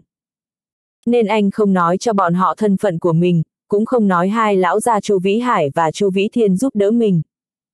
Nói những điều này, có khi chẳng có tác dụng gì, lại còn khiến nhiều người Chu gia cảnh giác. Dù sao, thân phận, chức vụ của Chu Vĩ Thiên và Chu Vĩ Hải những thứ họ nắm trong tay đều là công ty lớn ở Đông Hải. Tòa nhà tài chính thiên địa và bến cảng Thuấn Thiên, không chỉ trong Đông Hải mà khắp cả nước, đều là những công ty phát triển mạnh. Nhất cử nhất động của bọn họ, sẽ dễ dàng thu hút sự chú ý nhiều người Chu gia. Một khi Chu Dương bị lộ tin tức trước thời hạn, là anh sẽ bại lộ trước mặt mọi người trong Chu gia. Chu Dương biết trong Chu gia, người biết thân phận thật của anh không nhiều, có khi không có, nhưng phải đề phòng mọi rủi ro. Nhớ có nhiều người chú ý đến, từ đó hoài nghi, đó chắc chắn không phải chuyện tốt với anh. Về khách sạn, Chu Dương có chút yêu buồn. Qua cuộc thăm hỏi cả ngày hôm nay và tình hình những người đó, Chu Dương nhận ra lúc này nội bộ Chu gia không ổn. Chưa cần đề cập đến gia chủ Chu Hằng Thiên, Chu gia chỉ ít cũng là một thể thống nhất. Những công ty ở Đông Hải đều là của Chu gia, theo lý đều do gia chủ Chu Hằng Thiên phụ trách. Nhưng nghe lời mấy người đó, Chu Dương biết, những thứ đó hoàn toàn không do gia chủ phụ trách, mà là người khác trong Chu gia phụ trách. Tức là, không ít công ty ở Đông Hải của Chu gia đều bị những người khác nhúng tay vào. Nếu Chu gia xảy ra biến cố, những công ty này sẽ lập tức đổi chủ. Trong lòng Chu Dương lo lắng, khuôn mặt đầy vẻ yêu sầu ảm đạm. Trần Thế Hào và Tôn Liên nhìn nhau, thấy rõ sự khó xử trong mắt đối phương. Hôm nay bọn họ sớm có dự liệu trong lòng, nhưng dù sao vẫn muốn giữ lại chút hy vọng. Hy vọng mấy người kia sẽ tiếp đón bọn họ nghiêm túc chu đáo. Nhưng kết quả hết sức thất vọng. Những người gặp mặt họ, đều chỉ vì thân phận của Trần Thế Hào là người Trần gia ở thủ đô. Nếu không vì vậy, hôm nay họ sẽ không nói quá năm lời mà đóng thẳng cửa.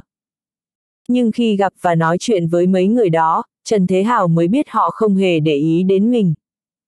Mà họ chỉ cân nhắc chỗ hậu thuẫn bọn họ trong chu gia sẽ có thái độ, phản ứng gì. Thậm chí, có vài người thấy nhóm Chu Dương xin giúp đỡ thì lập tức chút bầu tâm sự, nước mắt lã trã, văn vẻ rằng tình cảnh bọn họ rất khó khăn, như thể dây tiếp theo sẽ phá sản.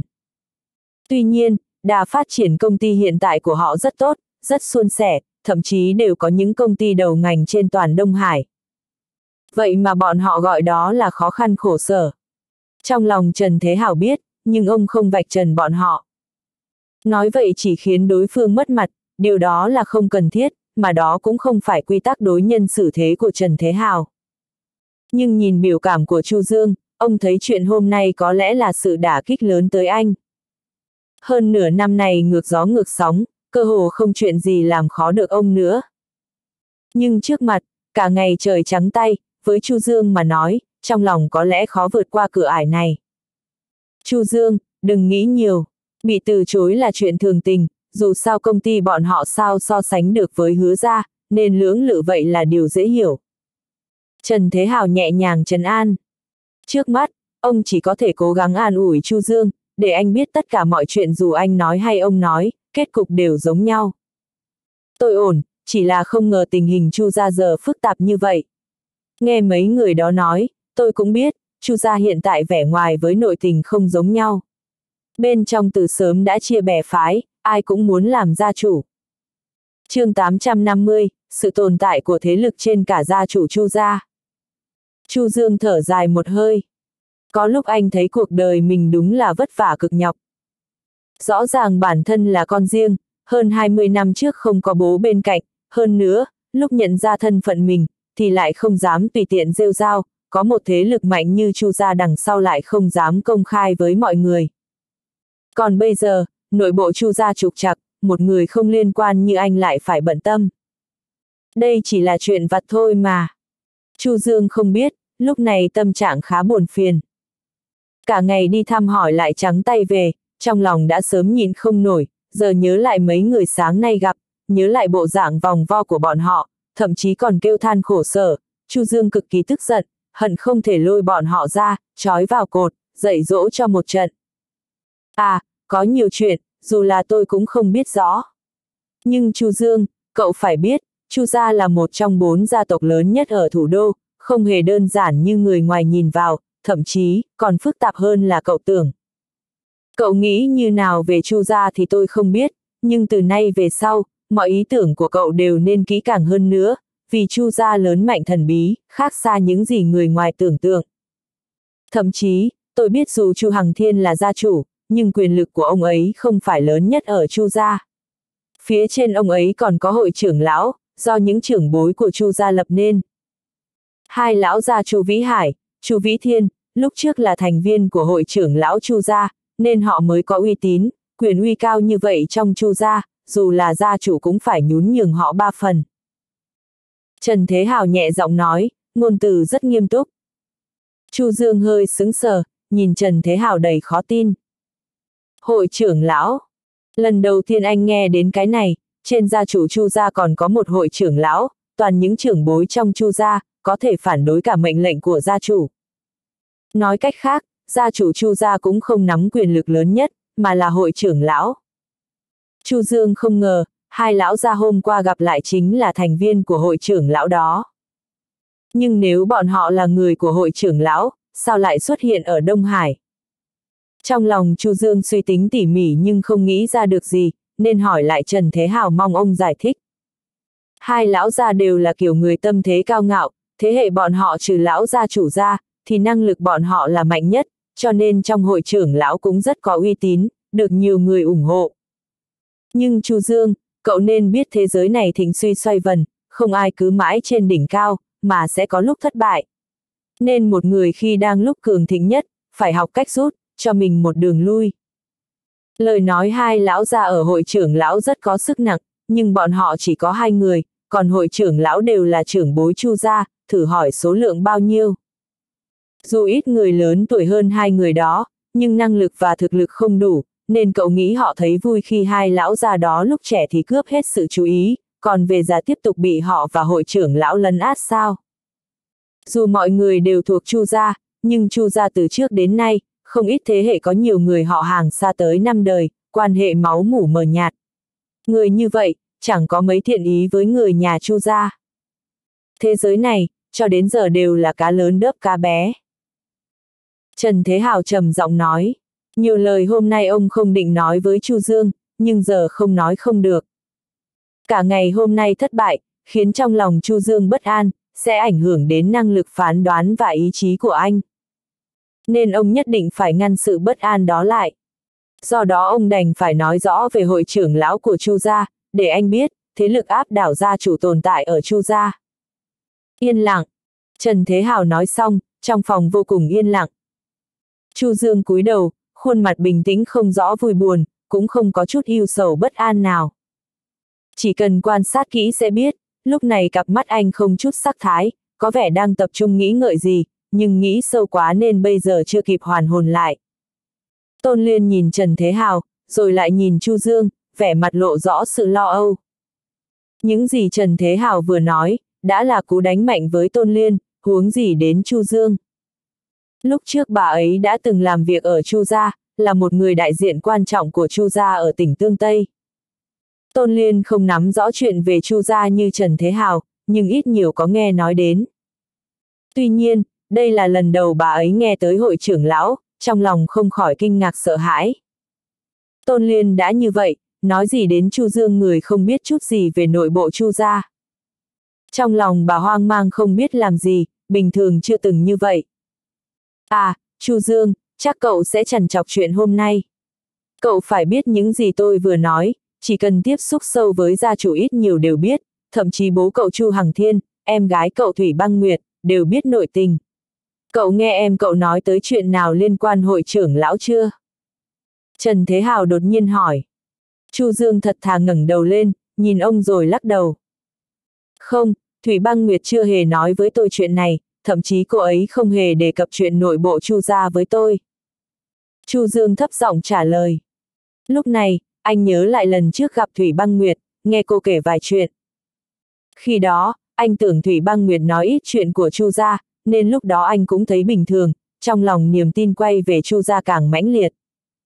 Nhưng giờ anh mới biết, những chuyện đó không hề quan trọng với Chu gia, hoàn toàn không phải chuyện nội bộ cơ mật. Giờ Chu Dương mới nghĩ một chút, Thủy Băng Nguyệt chừng 20 tuổi, sau khi mẹ qua đời buộc phải sống với bố, nhưng lại muốn đến Đông Hải cách xa ngàn dặm, nhất định là vì lý do không thể cự tuyệt nào đó. Lúc trước anh còn nghĩ cô ở Chu gia bị tổn thương, nên muốn đến Đông Hải thư giãn. Nhưng giờ xem ra, có thể do hội trưởng lão kia, nên Thủy Băng Nguyệt mới buộc phải đi tới Đông Hải. chương 851, nghĩ thông suốt một. Hễ nghĩ tới Thủy Băng Nguyệt có khả năng phải chịu sự chèn ép của hội trưởng lão ở Chu Gia, trong lòng Chu Dương không thoải mái lắm. Là con gái duy nhất của gia chủ Chu Hằng Thiên, Thủy Băng Nguyệt không chỉ là công chúa nhỏ của Chu Gia, hơn nữa mẹ ruột của cô ấy còn là đại tiểu thư của gia tộc lớn Thủy Gia ở thủ đô. Thủy Gia ở thủ đô, mặc dù không sánh được với Chu Gia nhưng đây cũng là một gia tộc lớn, ít nhất cũng mạnh hơn Trần Gia. Theo lý mà nói, Thủy Băng Nguyệt có xuất thân như vậy, ở Chu Gia cô ấy có thể hung hăng ngang ngược, không ai khống chế được, ít nhất cũng sẽ không phải chịu sự ức hiếp. Nhưng bây giờ xem ra, Thủy Băng Nguyệt từ thủ đô đến Đông Hải, hơn nữa ở bên cạnh chỉ có hai tông sư võ giả bảo vệ. Từ đó có thể thấy rằng, Thủy Băng Nguyệt không chỉ chịu ức hiếp ở Chu gia, hơn nữa cũng không có ai có thể đứng ra nói giúp cô ấy. Chu Dương lúc đầu cũng hơi khó chịu, nhưng nghĩ lại cũng đã sáng tỏ. Xuất thân của Thủy Băng Nguyệt quả thực lớn mạnh, bố là chủ của Chu gia, mẹ là đại tiểu thư của Thủy gia. Nhưng mẹ của cô ấy đã qua đời, phần lớn mối liên hệ với Thủy gia đều bị đứt đoạn. Mà bố của cô ấy, mặc dù là gia chủ của Chu gia, nhưng có hội trưởng lão của Chu gia ở đó, Chu Hằng Thiên không thể hoàn toàn quyết định, cho dù ông ấy có sắp xếp gì cho Thủy Băng Nguyệt cũng có thể bị hội trưởng lão ngăn cản. Đương nhiên những điều này theo Chu Dương không phải là nguyên nhân quan trọng nhất. Nguyên nhân quan trọng nhất là Thủy Băng Nguyệt là con nối dõi duy nhất của Chu Thiên Hằng. Mặc dù nói Chu gia trước giờ chưa có tiền lệ gia chủ là nữ. Nhưng gia chủ từ trước đến nay cũng chưa từng có tình trạng không có con trai. Vì vậy ai dám đảm bảo Chu Hằng Thiên sau khi từ chức sẽ không nâng đỡ cho Thủy Băng Nguyệt lên làm gia chủ. Mà những người trong hội trưởng lão cũng đều có con nối dõi, với tình hình của Chu gia trước mắt, đặc biệt là tình hình của gia chủ Chu Thiên Hằng, khiến cho bọn họ thấy được hy vọng nắm được quyền lực lớn ở Chu gia. Vì vậy lúc này, mọi người đều đang tranh giành, không ai muốn nhường bước, mà trở ngại lớn nhất là Thủy Băng Nguyệt đương nhiên cũng sẽ bị mọi người coi như cái gai trong mắt. Dù thế nào Thủy Băng Nguyệt cũng là đại tiểu thư của Chu gia, mấy người bọn họ đương nhiên không dám thực sự làm gì cô, nhưng bắt cô ấy rời thủ đô, ra khỏi trung tâm quyền lực, khiến cô dần bị lu mờ trong tầm mắt của người Chu gia là chuyện mà bọn họ có thể làm được. Xem ra theo quan điểm của Chu gia, tôi phải điều chỉnh một số thứ rồi. Chu Dương khẽ nói thầm, sắc mặt biến đổi, nhưng cuối cùng cũng đã hồi phục lại. Trước khi cầm chiếc điện thoại bí ẩn đó và biết về thân phận của mình, Chu Dương hoàn toàn không biết bản thân hóa ra còn có một người bố, mà người bố này còn vô cùng lợi hại. Vì vậy lúc đó, anh hoàn toàn không có chút khái niệm nào về gia tộc Chu gia.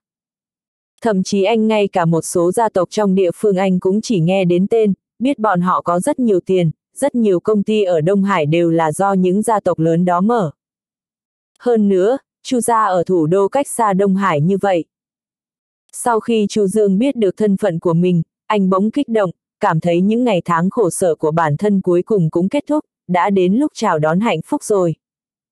Nhưng Chu Dương vẫn cảm thấy rụt rè trước một gia tộc xa lạ, hơn nữa còn là một gia tộc lớn mạnh như vậy, anh sợ bản thân đến Chu gia sẽ bị đối xử như người ngoài.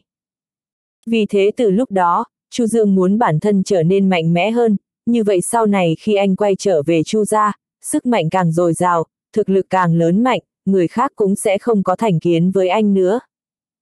Nhưng bây giờ Chu Dương cảm thấy, Chu gia hoàn toàn không giống với tưởng tượng của anh. Trong tưởng tượng của Chu Dương, Chu gia là một trong bốn gia tộc lớn ở thủ đô, là một trong bốn gia tộc lớn ở Hoa Hạ, cao ngạo xa cách, cho dù đến nơi nào, người ở đó cũng đều phải hầu hạ cẩn thận. Thậm chí, bố của anh gia chủ của Chu gia nắm trong tay quyền lực lớn, về cơ bản có thể làm bất cứ điều gì ông ấy muốn. Nhưng bây giờ, một nhóm được gọi là hội trưởng lão đã phá tan mọi ảo tưởng trước đây của Chu Dương về Chu gia. Nếu như người nắm quyền thực sự ở Chu gia là hội trưởng lão, vậy thì vị trí gia chủ này há chẳng phải giống như một con rối sao? Gia chủ như vậy thì có ý nghĩa gì chứ? Chu Dương, tôi không biết bây giờ cậu đang nghĩ gì, nhưng tôi muốn nói với cậu, hội trưởng lão này mặc dù có sức khống chế rất lớn tới quyền lực của gia chủ, nhưng sự hiện diện của bọn họ rất quan trọng, bởi nhờ có bọn họ, Chu gia mới có thể đứng vững vàng trong một thời gian dài như vậy, trở thành một trong bốn gia tộc lớn ở thủ đô. Trong đó có rất nhiều chuyện bây giờ tôi không tiện nói với cậu, cho dù có nói ra, cậu cũng không biết nội tình bên trong, vì vậy, hãy kiềm chế sự bất mãn của cậu với hội trưởng lão, chờ đến lúc cậu chính thức trở về Chu gia, nắm được quyền lực của Chu gia trong tay thì ắt sẽ biết sự tồn tại của hội trưởng lão có ý nghĩa gì với Chu gia. Trần Thế Hào thành khẩn nói. Ông ấy đã quan sát tất cả những thay đổi nét mặt của Chu Dương, đương nhiên cũng đoán được một số suy nghĩ của Chu Dương. Mặc dù không muốn nói như vậy nhưng Trần Thế Hảo vẫn muốn khuyên Chu Dương vài câu, không thể khiến anh để tâm vào mấy chuyện vụn vặt này được. Dẫu sao, hội trưởng lão cũng đã tồn tại mấy chục năm, thậm chí là hơn trăm năm, mặc dù có lực khống chế rất lớn với quyền lực của gia chủ, nhưng nó đã tồn tại một thời gian dài như vậy, hơn nữa mỗi một đời gia chủ đều không bãi bỏ hội trưởng lão, vậy thì sự tồn tại của nó nhất định có ý nghĩa riêng. Những điều này, chờ đến khi Chu Dương trở thành người nắm quyền ở Chu gia thì ắt sẽ hiểu ra. Bây giờ điều mà Trần Thế Hào phải làm là khiến cho Chu Dương không quá để tâm vào hội trưởng lão, những điều này còn cách xa so với những thứ mà trình độ hiện tại của Chu Dương có thể tiếp xúc được. Thực tế, Trần Thế Hào nói với Chu Dương về sự tồn tại của hội trưởng lão cũng đã vượt quá bổn phận rồi. Nhưng thông qua ánh mắt và tình hình của Chu Dương lúc này, Trần Thế Hào cũng chỉ có thể làm như vậy. Nghe thấy Trần Thế Hào nói vậy, mặc dù Chu Dương không cam lòng nhưng cũng biết có chừng mực. Từ trước đến nay anh chưa từng nghe tới hội trưởng lão. Không chỉ ở Tương Tây anh chưa từng nghe Chu Thiểu Hoa nhắc tới, mà ở Đông Hải, anh cũng chưa nghe Thủy Băng Nguyệt nói đến, cũng không nghe thấy hai lão gia Chu Vĩ Thiên và Chu Vĩ Hải nói gì. Điều này cho thấy, hội trưởng lão vẫn chưa phải là thứ mà lúc này Chu Dương có thể tiếp cận được. Mà Trần Thế Hào lại nói với anh rằng, ông ấy không hy vọng anh quá để tâm tới hội trưởng lão. Tôi biết rồi, bây giờ thực lực của tôi quả thực không đủ, đối phó với một mình hứa ra đã cần phải có nhiều người giúp đỡ như thế, chờ đến một ngày, tôi có thể một mình đối phó với gia tộc như hứa ra, đến lúc đó tôi sẽ nghĩ tới chuyện của hội trưởng lão sau. Chu Dương trầm giọng nói, vẻ mặt cương quyết giống như một lời thề của anh. Ừ, như thế là tốt nhất, được rồi, trời cũng không còn sớm nữa, cậu mau chóng về nghỉ ngơi đi, ngày mai còn có một số nơi phải đến, mặc dù chưa biết kết quả ra sao nhưng dù thế nào cũng vẫn phải đi một chuyến. Trần Thế Hào khẽ vỗ vai của Chu Dương, xoay người trở về phòng của mình. Lúc này, Tôn Liên đã chờ trong phòng một lúc, nhìn thấy Trần Thế Hào đi vào thì lập tức ra đón chương 852, nghĩ thông suốt 2. Thế nào rồi, Chu Dương đã nghĩ thông suốt chưa? Tôn Liên kéo Trần Thế Hào ngồi xuống, vẻ mặt đầy lo lắng. Mặc dù bà ấy tiếp xúc với Chu Dương chưa lâu, hơn nữa cũng không muốn nhúng tay vào chuyện của Chu gia. Nhưng Chu Dương và Trần Thế Hào có mối quan hệ vô cùng tốt, hơn nữa hai người cũng đã có ẩn ý cùng đứng trên một chiếc thuyền rồi. Yêu nhau yêu cả đường đi, Tôn Liên đương nhiên cũng hy vọng Chu Dương có thể phấn khởi trở lại, sau này quay về Chu gia có thể nắm được quyền lực lớn của Chu gia. Nếu được như vậy, bất luận là đối với Chu Dương hay đối với Trần Thế Hào đều sẽ có được lợi ích rất lớn. Ừ, tôi đã nói với cậu ấy rồi, bây giờ cậu ấy cũng đã tốt hơn nhiều, được rồi, chúng ta cũng đừng lo lắng nhiều chuyện như thế, mọi chuyện cuối cùng vẫn cần dựa vào bản thân cậu ấy, nếu như đến cả trở ngại nhỏ này cũng không vượt qua được vậy còn nói gì đến chuyện quay trở về Chu gia nữa. Được rồi, nghỉ ngơi thôi. Đêm đã khuya, Chu Dương nằm trên giường, mở mắt nhìn chằm chằm lên trần nhà, đột nhiên có cảm giác không nói nên lời. Mặc dù vừa nãy anh nói với Trần Thế Hào mình đã nghĩ thông suốt rồi. Nhưng Chu Dương biết anh vẫn chưa hoàn toàn hiểu hết, trong lòng anh ít nhiều vẫn còn vướng mắc. Tuy rằng Chu Dương đã cố gắng hết sức kiềm chế bản thân nhưng anh không phải thần thánh, không có cách nào bình tĩnh trước sóng lớn, chỉ có thể khiến cảm xúc của bản thân bình tĩnh hơn chút, không ảnh hưởng đến người khác, không để người khác lo lắng cho mình. Lúc này Chu Dương đang suy nghĩ, sau khi anh biết thân phận của mình, lần đầu tiên nhận được 20 triệu tệ, cuộc sống trong thời gian dài như vậy có phải là thứ mà anh muốn có được hay không? Đầu tiên, về mặt tiền bạc, bây giờ anh đã không còn thiếu thốn nữa. Càng không nói tới hơn 30% cổ phần công ty danh dương trong tay anh, đã vượt qua con số 5 tỷ. Nói cách khác, bây giờ nếu như anh bán hết số cổ phần trong công ty danh dương đổi sang tiền mặt, vậy thì sau này anh không cần làm gì cả, chỉ cần ăn uống vui chơi, cùng mẹ sống cả đời vô lo vô nghĩ. Nhưng đó không phải cuộc sống mà Chu Dương mong muốn. Trước kia khi chưa có tiền, anh luôn nghĩ, nếu có nhiều tiền sẽ chi tiêu như nào. Nhưng đến khi thực sự được như vậy, Chu Dương lại cảm thấy mơ hồ. Bởi vì theo suy nghĩ ngày trước của anh, bây giờ có đã có tiền rồi, cần phải có biệt thự, xe hơi, người đẹp, cả ngày ở trong biệt thự lớn tiệc tùng với người đẹp, đây mới là việc hưởng thụ nhất. Nhưng bây giờ suy nghĩ của Chu Dương đã hoàn toàn thay đổi. Ý định đó lúc đầu có lẽ vẫn còn, nhưng sau khi trải qua nhiều chuyện như vậy, Chu Dương cảm thấy dù là biệt thự, xe hơi hay người đẹp đều là thú vui thoáng chốc, không có quá nhiều ý nghĩa gì. Mà tiền giúp anh làm nhiều chuyện ý nghĩa hơn.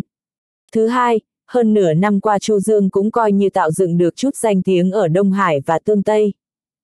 Không thể nói ngang hàng với một số gia tộc hạng nhất, nhưng ít nhất cũng có thể chính diện đối mặt với những gia tộc đó. Còn những gia tộc hạng hai thậm chí không là gì trong mắt của Chu Dương, với anh chỉ giống như một thứ công cụ. Những điều này đều là những thay đổi thực tế của Chu Dương trong hơn nửa năm nay. Đổi lại là Chu Dương ngày trước tuyệt đối sẽ không thể ngờ bản thân của nửa năm sau lại xảy ra thay đổi lớn như thế. Chu Dương nhếch nhép cười một mình, cảm thấy bản thân buồn lo vô cớ. Anh luôn canh cánh trong lòng chuyện của hội trưởng lão, nhưng hội trưởng lão của Chu gia đó lại hoàn toàn không biết sự tồn tại của anh. Chuyện này không phải quá nực cười rồi sao? Bạn toàn tâm toàn ý coi người ta là kẻ thù, cuối cùng phát hiện người ta hoàn toàn không chú ý tới bạn, bạn hoàn toàn không khác người qua đường chút nào. Vì vậy thay vì lãng phí tâm tư và thời gian vào chuyện của Chu gia, chỉ bằng làm tốt chuyện xung quanh mình. Ví như công ty danh dương, mặc dù trước đó hai sản phẩm chính của công ty là mặt nạ trắng da chống lão hóa và sữa giữa mặt tân chu rất được ưa chuộng, hiện nay cũng coi như là một tân binh của ngành mỹ phẩm trong nước. Nhưng giờ đã gần nửa năm trôi qua, ngoài hai sản phẩm chủ đạo ra công ty danh dương vẫn chưa cho ra mắt được sản phẩm nào khác, nên dù bây giờ vẫn có lãi nhưng lại kém xa so với ngày trước. Hơn nữa, ngoài tầm ảnh hưởng của công ty danh dương trong ngành mỹ phẩm, cơ sở mà anh bố trí ở tương Tây ngoài công ty danh dương còn có ngành truyền thông mà Tôn Việt hợp tác với Trương gia bây giờ cũng vừa bắt đầu mà thôi. Trước nay, Chu Dương mới chỉ chen chân vào hai ngành này, mặc dù lúc đầu anh cảm thấy không có gì, nhưng đến hiện tại lại cảm thấy sức lực chưa mạnh. Vì vậy trong lòng Chu Dương suy nghĩ, trước mắt anh cần tập trung vào hai phương diện này. Thay vì lo lắng chuyện của Chu Gia Chi bằng làm tốt những chuyện này thì hơn.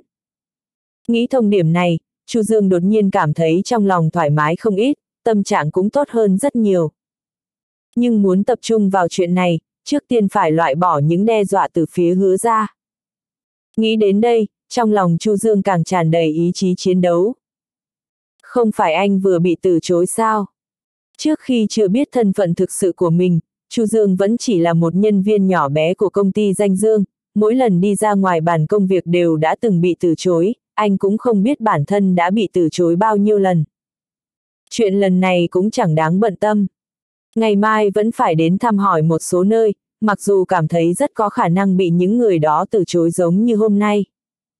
Nhưng Chu Dương sẽ không chán nản như lúc đầu. Khóe miệng khẽ nhếch lên, Chu Dương đem theo sự tự tin dần dần chìm vào giấc ngủ. Một đêm trôi qua, sáng ngày hôm sau Chu Dương dậy từ rất sớm. Tối hôm qua đã nói chuyện với Trần Thế Hào, đêm lại suy nghĩ rất lâu, cuối cùng tâm trạng cũng coi như đã thoải mái hơn nhiều. Vì vậy Chu Dương tỉnh dậy không hề cảm thấy mệt mỏi, mà thấy thoải mái lạ thường. Ba người sau khi chuẩn bị xong liền bắt đầu tiếp tục chuyến thăm hỏi hôm nay. Trần Thế Hào và Tôn Liên chố mắt nhìn nhau, đều thấy sự vui vẻ trong mắt đối phương. Bọn họ đều đã nhìn thấy trạng thái vừa nãy của Chu Dương, lúc này anh không còn giống Chu Dương của ngày hôm qua sau khi bị từ chối. Mặc dù không thể nói rốt cuộc khác nhau ở điểm nào, nhưng hai người nhìn ra được bây giờ Chu Dương đã nghĩ thông nhiều chuyện, cả người trở nên nhẹ nhõm, lời nói và hành động cũng tự tin hơn. Nhưng hai người cũng không quá lo lắng, mặc dù sự thay đổi này khiến người khác hơi bất ngờ nhưng chung quy lại cũng là một chuyện tốt. Trong lòng cảm thán một tiếng, Trần Thế Hào cảm thấy bản thân thoải mái hơn không ít. Ba người tiến về phía trước, nhanh chóng bắt đầu chuyến thăm hỏi ngày hôm nay. Như đã đoán trước, chuyến thăm hỏi ngày hôm nay cũng không hề thuận lợi, mặc dù mọi người đều ra mặt gặp Trần Thế Hào và Tôn Liên, nhưng kết quả của cuộc nói chuyện lại không được như ý muốn. Một ngày nhanh chóng trôi qua. 5 giờ chiều, ba người kết thúc chuyến đi của hôm nay, lúc này, tất cả những sản nghiệp của Chu gia ở Đông Hải, họ đều đã đến. Nhưng kết quả hôm nay khả quan hơn rất nhiều so với hôm qua. chương 853, kết thúc. Ngày hôm qua đúng là thất bại hoàn toàn, không có một người nào chịu đồng ý giúp đỡ. Nhưng hôm nay thì khác, mặc dù hôm nay cũng có rất nhiều người từ chối, nhưng may thay vẫn có người của ba công ty đồng ý giúp đỡ. Tất nhiên, Chu Dương vẫn không nói ra thân phận của mình, bọn họ đều là nể mặt Trần Thế Hào.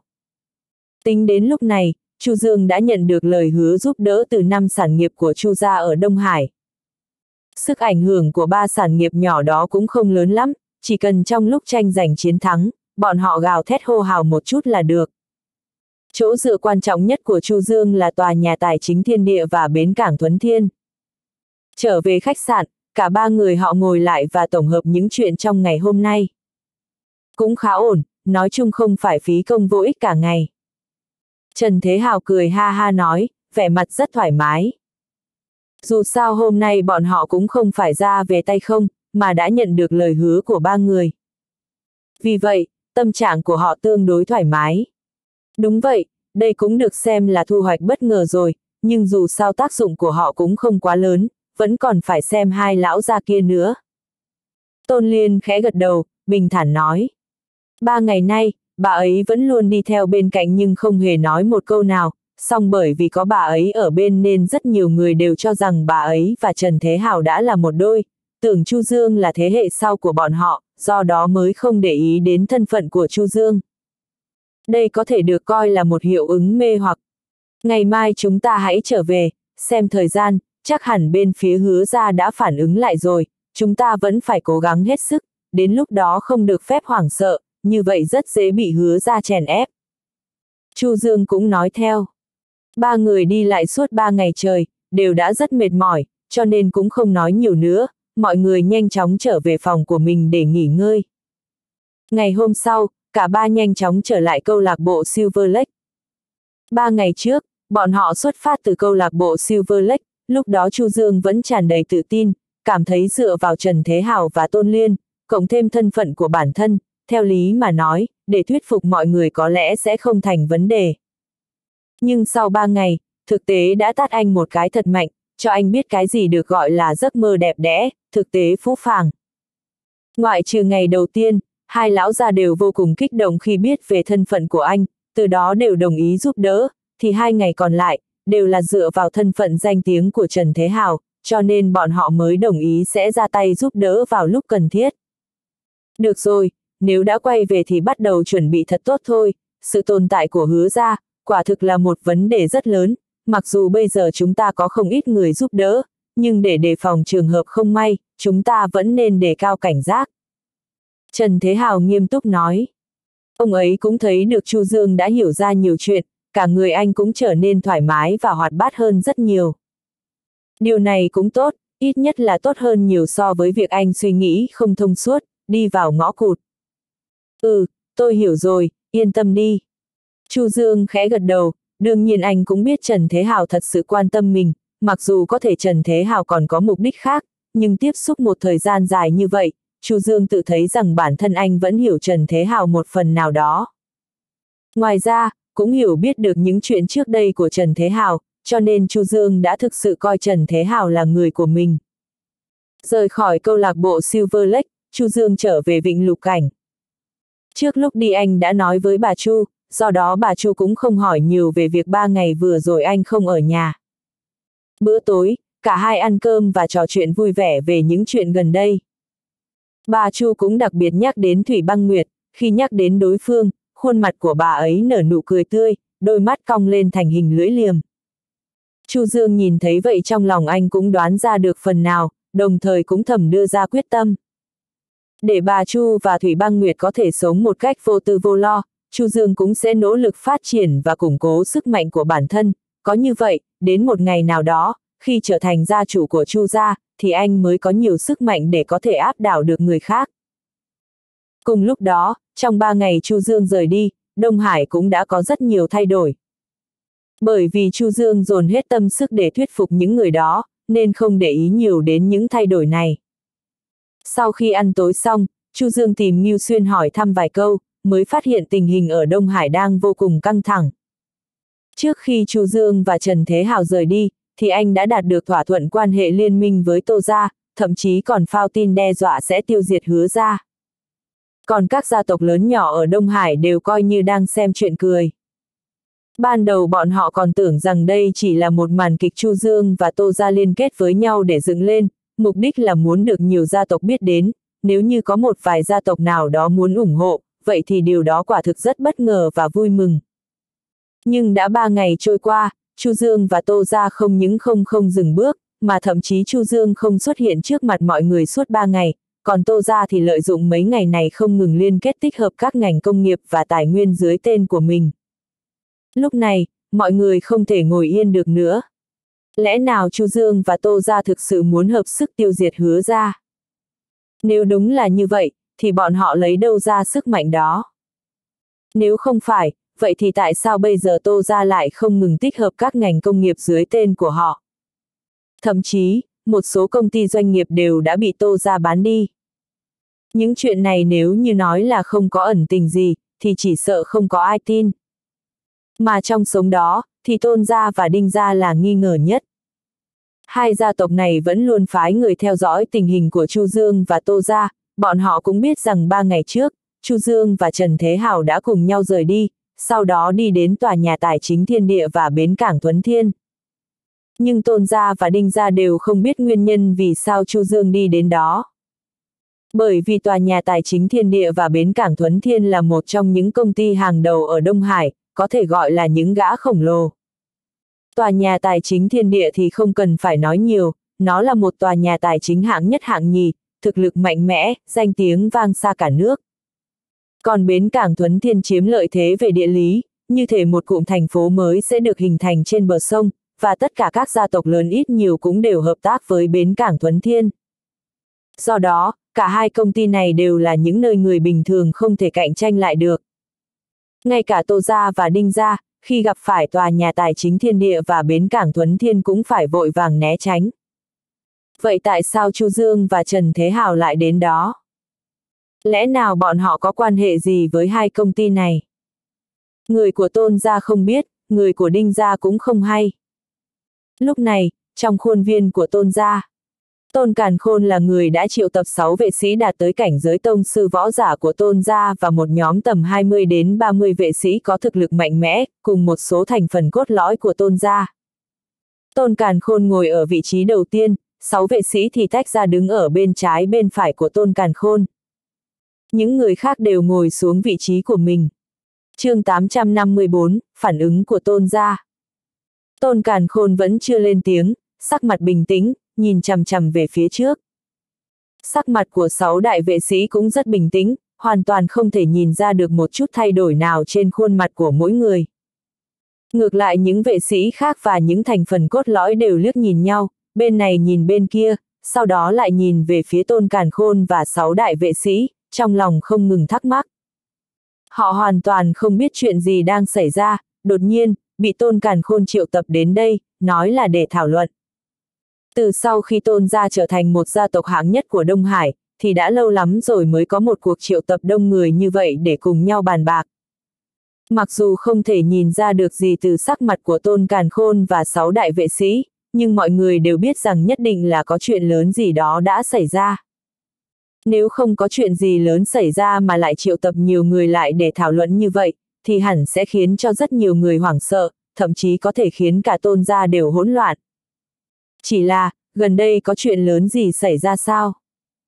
Tất cả mọi người đang vắt não suy nghĩ, ở Đông Hải, thậm chí trên cả nước, dường như không có gì đáng để tôn gia phải gióng chống khua chiêng tổ chức cuộc họp cả.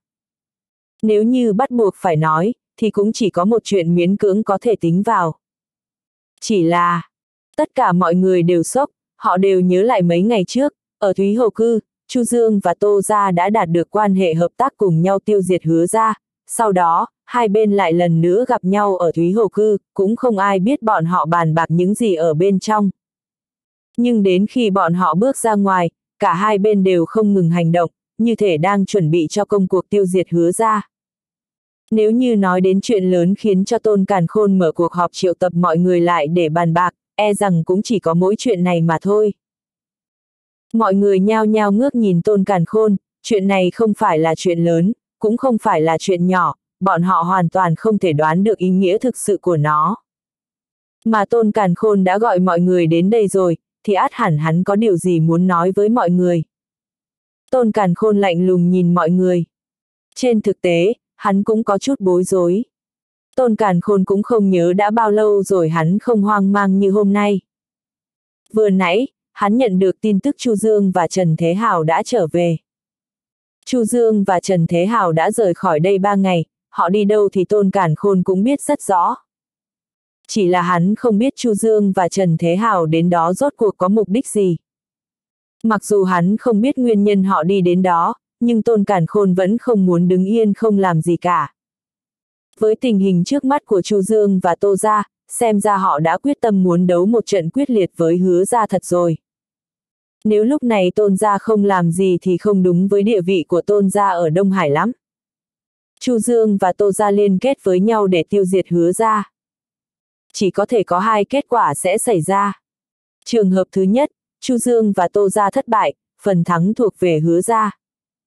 Trong trường hợp này, Chu Dương và Tô Gia có thể hoàn toàn thất bại không thể vực dậy được nữa, thậm chí ngay cả Đông Hải rộng lớn này cũng không có chỗ cho bọn họ, hứa ra sẽ không bao giờ để bọn họ ở lại Đông Hải chứ đừng nói đến chuyện khôi phục lại thế lực, hứa ra tuyệt đối sẽ không cho Chu Dương và Tô Gia cơ hội như vậy, dù đó chỉ là một cơ hội nho nhỏ. Kết quả như vậy cũng rất rõ ràng. Chu Dương và Tô Gia muốn tiêu diệt hứa ra, nhưng nếu không thành công, thì nhất định sẽ chọc giận đến hứa ra, khiến hứa ra tức giận và khó chịu. Mà sau sự thất bại của Chu Dương và Tô Gia, cũng không ai biết liệu hứa ra có nguôi ngoai, có vì tức giận với Chu Dương và Tô Gia mà chút sang các gia tộc khác ở Đông Hải hay không. Vì vậy lúc này, các gia tộc khác ở Đông Hải sẽ phải chịu áp lực rất lớn, và đều nơm nấp nghĩ về một tương lai mơ hồ. Trường hợp thứ hai, Chu Dương và Tô Gia liên kết lại tiêu diệt được hứa ra. Trong trường hợp như vậy, danh tiếng của Chu Dương và Tô Gia sẽ đạt đến đỉnh cao chưa từng có, làm lu mờ tiếng tăm của Tôn Gia, Đinh Gia và tất cả các gia tộc khác, bọn họ sẽ đứng ở vị trí hàng đầu đầy uy nghiêm ở Đông Hải. Đến lúc đó, hứa gia bị tiêu diệt, tài sản của hứa gia để lại sẽ trở thành chiến lợi phẩm của Chu Dương và Tô Gia, thậm chí bọn họ sẽ dùng sức mạnh tiêu diệt hứa gia để bành trướng và lớn mạnh hơn nữa ở Đông Hải, vượt qua tôn gia về mọi mặt.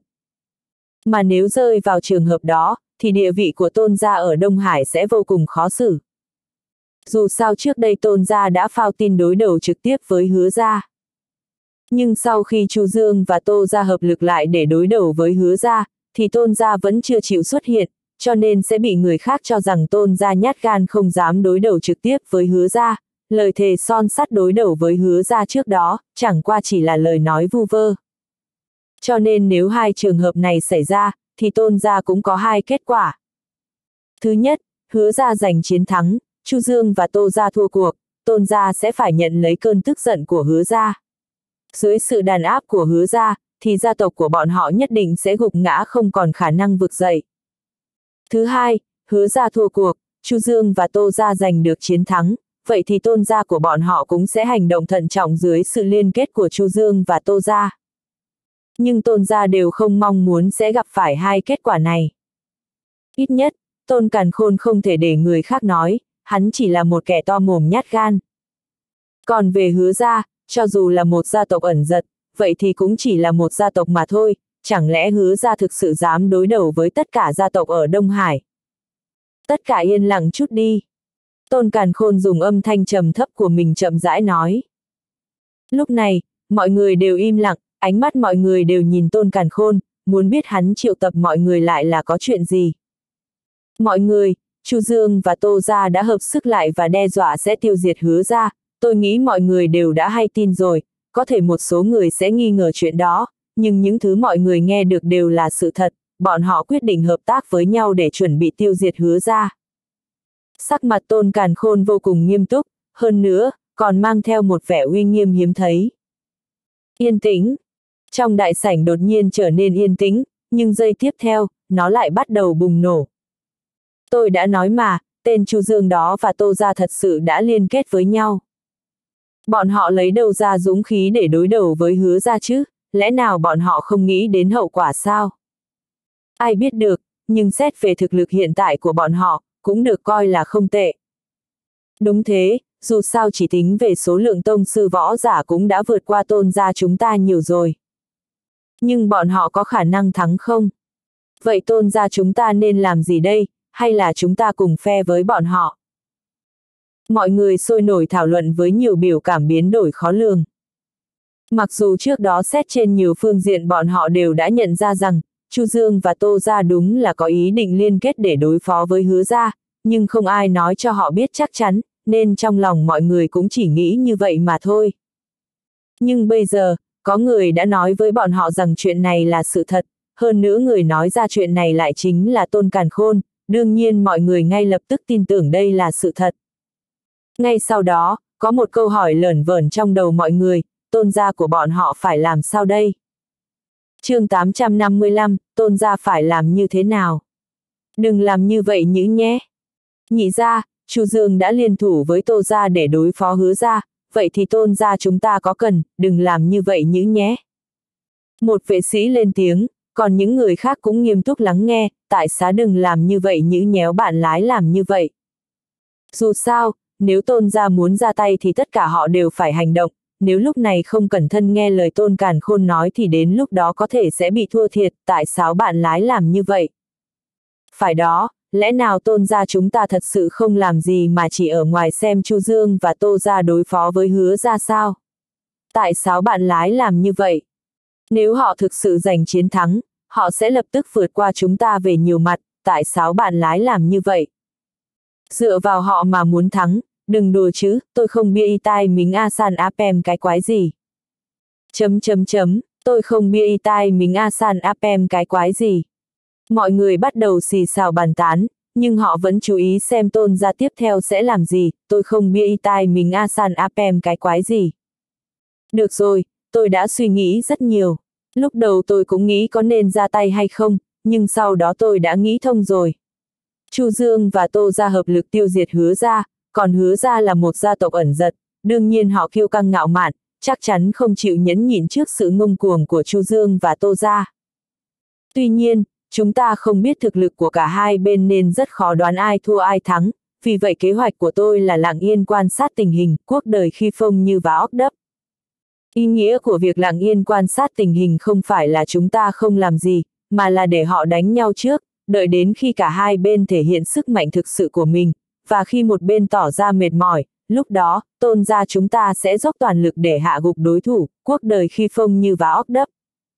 Như vậy, cho dù kết quả có ra sao, thì tôn gia chúng ta sẽ không bị rơi vào tình cảnh thất bại, và đây là cách tốt nhất mà tôi có thể nghĩ đến vào lúc này, thật bai ua tẻ hấy sóc.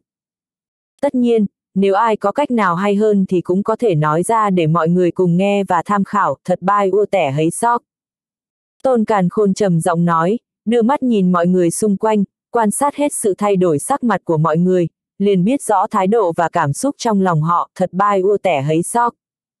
Tuy nhiên, nếu muốn thực sự tập trung sức mạnh của tôn ra lại thì vẫn còn phải nỗ lực hơn nữa, thật bai ua tẻ hấy sóc. Xét cho cùng, tôn gia cũng là một gia tộc lớn với nhiều nhánh khác nhau, mối quan hệ quyền lợi bên trong còn lâu mới có thể nói rõ hết được trong chốc lát, cuộc đời khi phong như vá óc đấp. Tuy nhiên, những điều này không quan trọng đối với tôn càn khôn, quốc đời khi phong như vá óc đấp. Việc hắn cần làm là khi cần đối phó với bên ngoài thì phải đoàn kết người trong tôn ra lại, không cho phép bất cứ ai có suy nghĩ gì khác, quốc đời khi phong như vá óc đấp. Vì vậy, lúc này hắn mới gọi mọi người đến đây, quốc đời khi phong như vá óc đấp.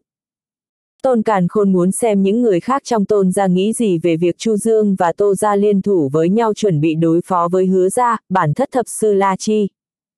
Sau khi Tôn Càn Khôn nói xong, mọi người đều im lặng, bản thất thập sư La Chi. Thực ra những gì Tôn Càn Khôn nói vừa rồi khiến họ rất ngạc nhiên, đồng thời đột nhiên trong lòng họ cũng cảm thấy kinh hãi, bản thất thập sư La Chi. Mọi người không phải là kẻ ngốc, họ đều có thể nghe hiểu được hàm ý từ những lời vừa rồi của Tôn Càn Khôn, bản thất thập sư La Chi. Đây là một lời nhắc nhở và cũng là lời cảnh cáo. Bản thất thập sư La Chi. Mọi người ai nấy đều biết rõ nên không nói nhiều chấm ANS đang làm gì thế. Vào lúc này, tốt hơn hết là nên yên lặng, nếu không tôn càn khôn nghi ngờ điều gì thì họ chỉ có nước ngậm bồ hòn làm ngọt, cầm nín không than được với ai chấm ANS đang làm gì thế. Nhìn thấy đám đông như vậy, tôn càn khôn gật đầu hài lòng chấm ANS đang làm gì thế. Gần đây, đặc biệt sau khi tin tức về việc hứa ra suất đầu lộ diện được tung ra, hắn cũng phát hiện ra rất nhiều người trong tôn gia đã có suy nghĩ khác trầm ANS đang làm gì thế. Là người đứng đầu hiện tại của tôn gia, đương nhiên tôn cản khôn muốn bóp chết mầm họa này chấm ANS đang làm gì thế. Tuy nhiên, việc cưỡng bức là không nên, vì vậy tôn cản khôn vẫn luôn án binh bất động để tìm cơ hội tấn công chấm ANS đang làm gì thế. Có điều, khi Chu Dương và Tô ra hợp lực, và thời gian hứa ra xuất hiện đang đến gần, thì thời gian còn lại cho tôn càn khôn ngày càng ít đi.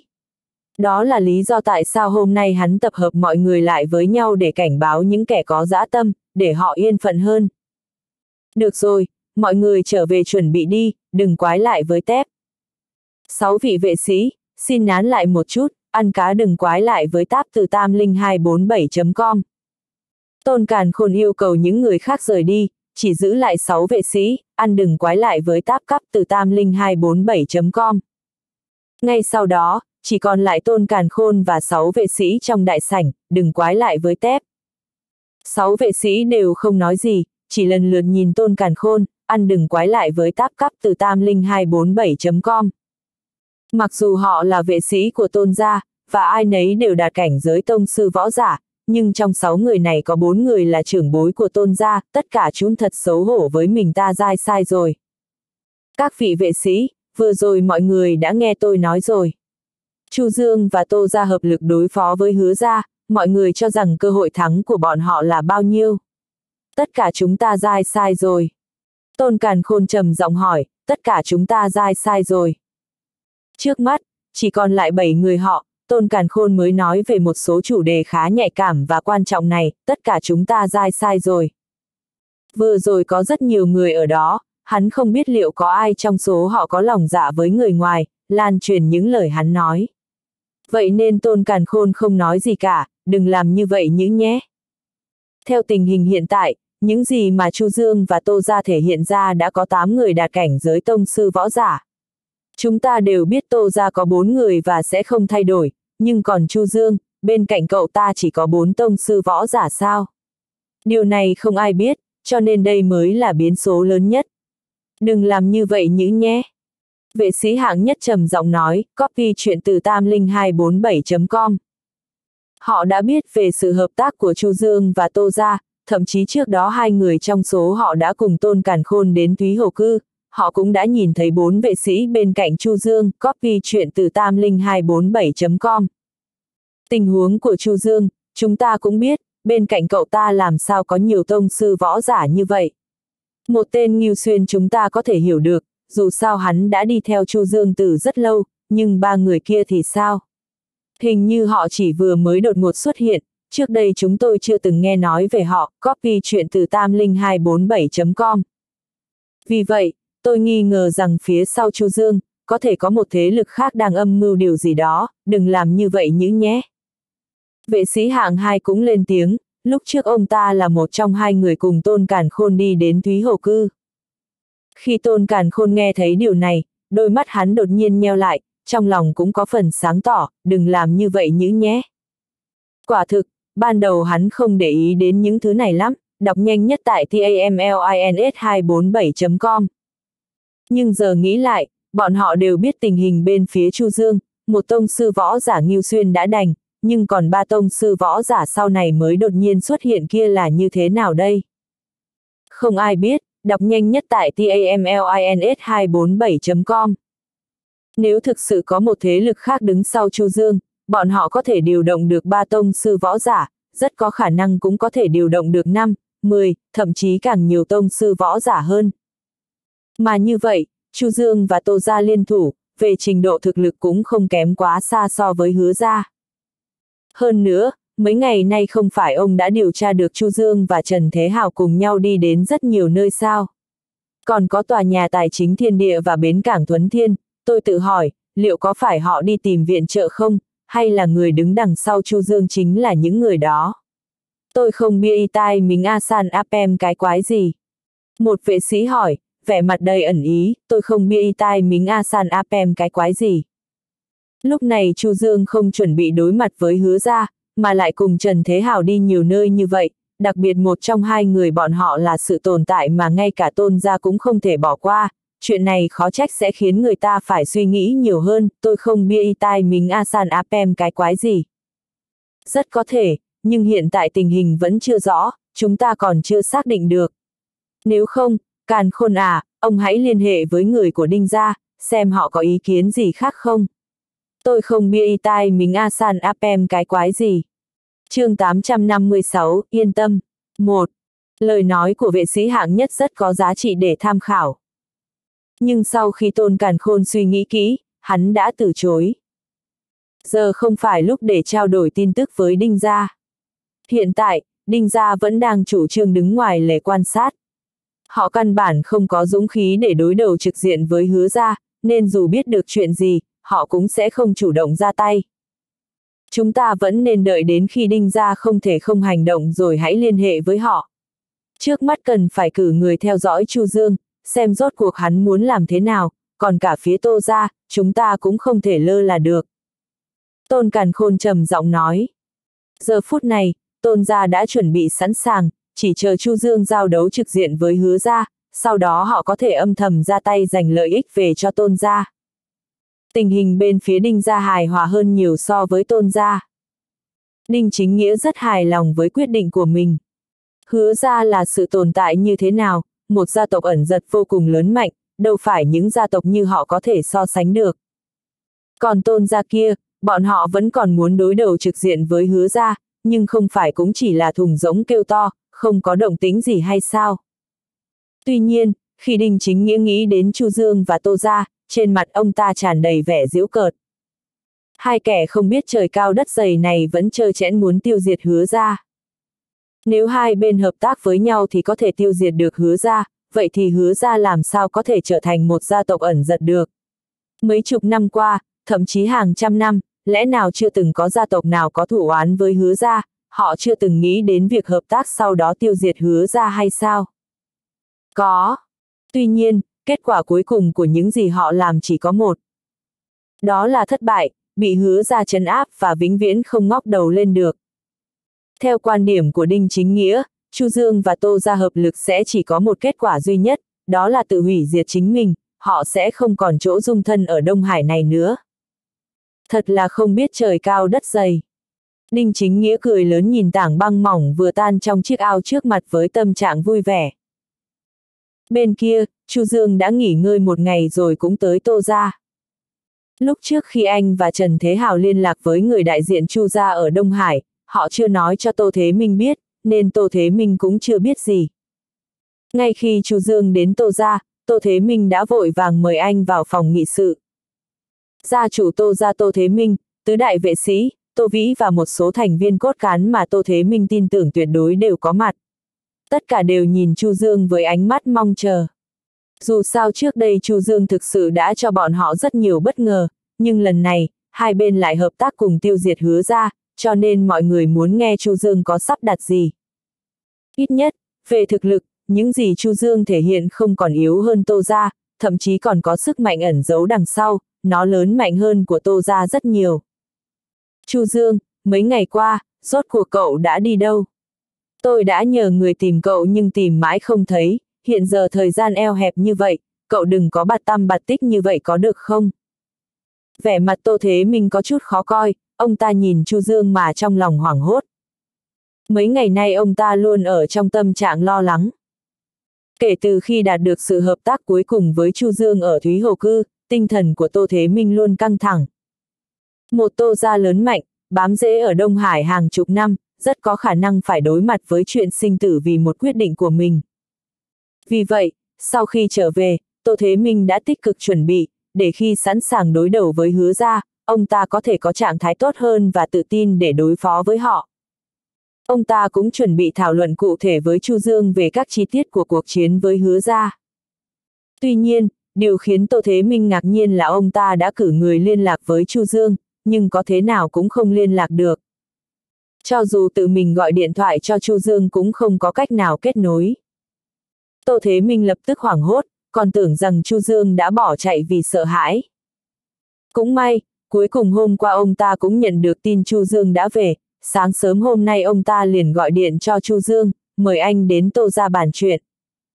Ha ha, không phải là tôi ra ngoài lo vài chuyện sao. Hơn nữa tuy rằng chúng tôi nói là muốn tiêu diệt hứa ra, nhưng cũng không thể gấp gáp trong một sớm một chiều được.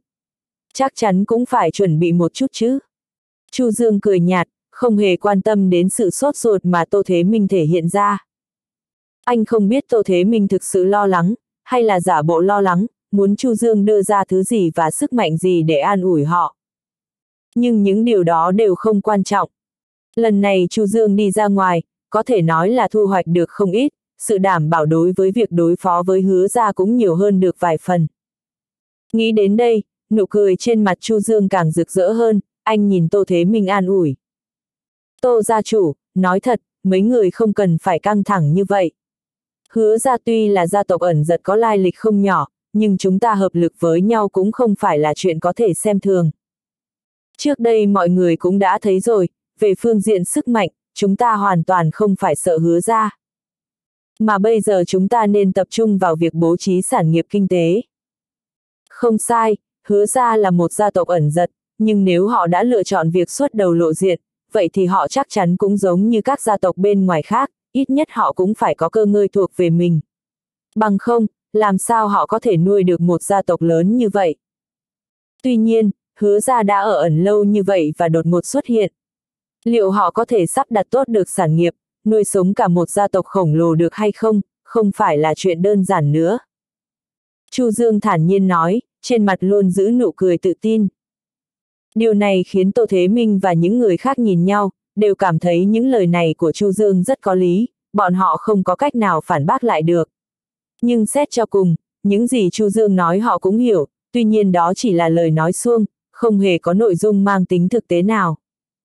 Chu Dương, tôi hiểu cậu nói gì, nhưng hứa ra không phải là một gia tộc bình thường, nếu có thể tồn tại lâu như vậy, hẳn là có rất nhiều thông tin lai lịch mà chúng ta không biết.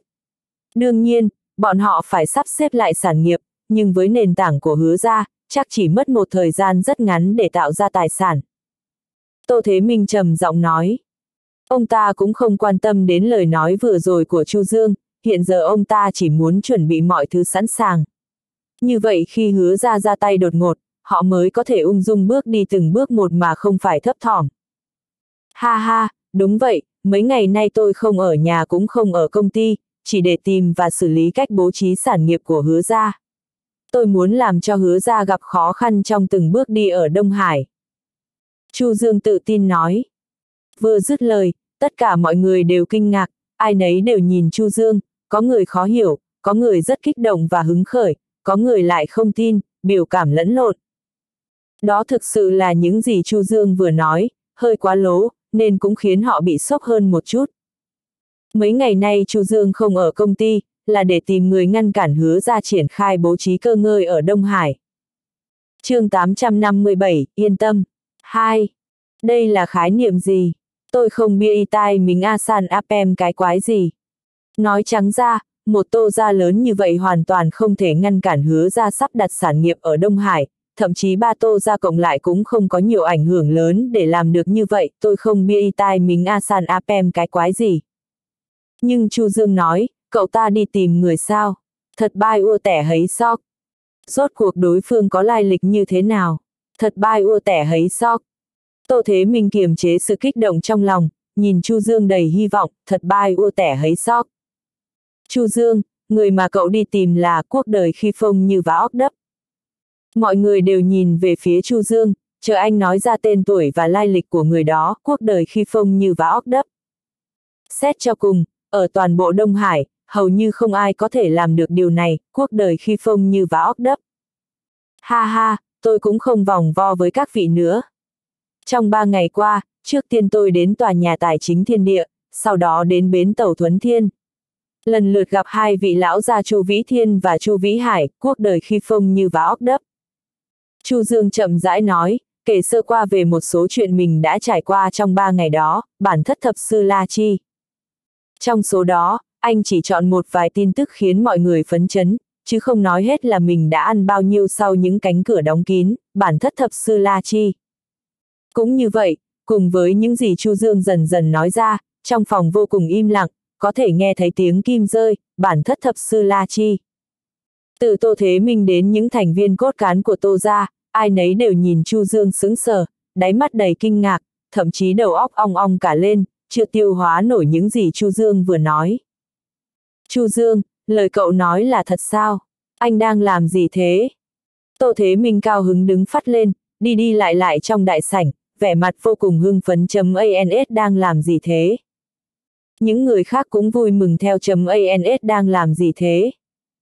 Sau tất cả, những gì Chu Dương nói đã gây sốc ngay cả đối với họ chấm ANS đang làm gì thế?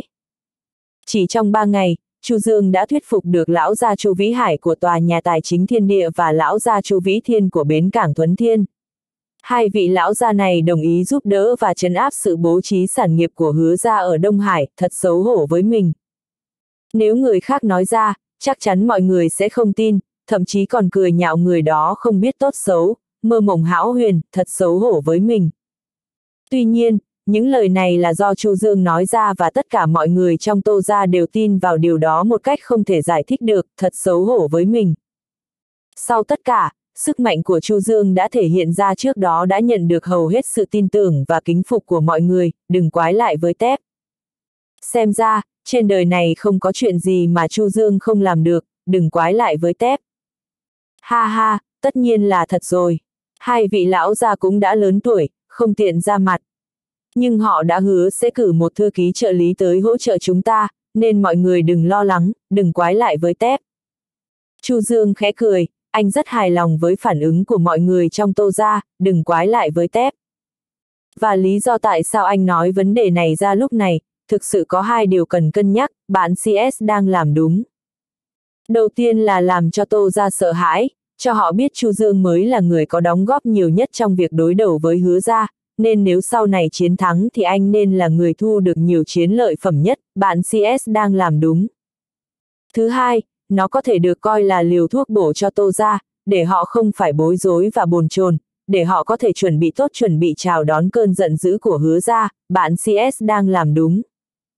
Sau khi biết Chu Dương đã chuẩn bị xong, tâm trạng mọi người rất tốt, không khí trong sảnh cũng thoáng chốc vui vẻ hơn nhiều, bạn CS đang làm đúng.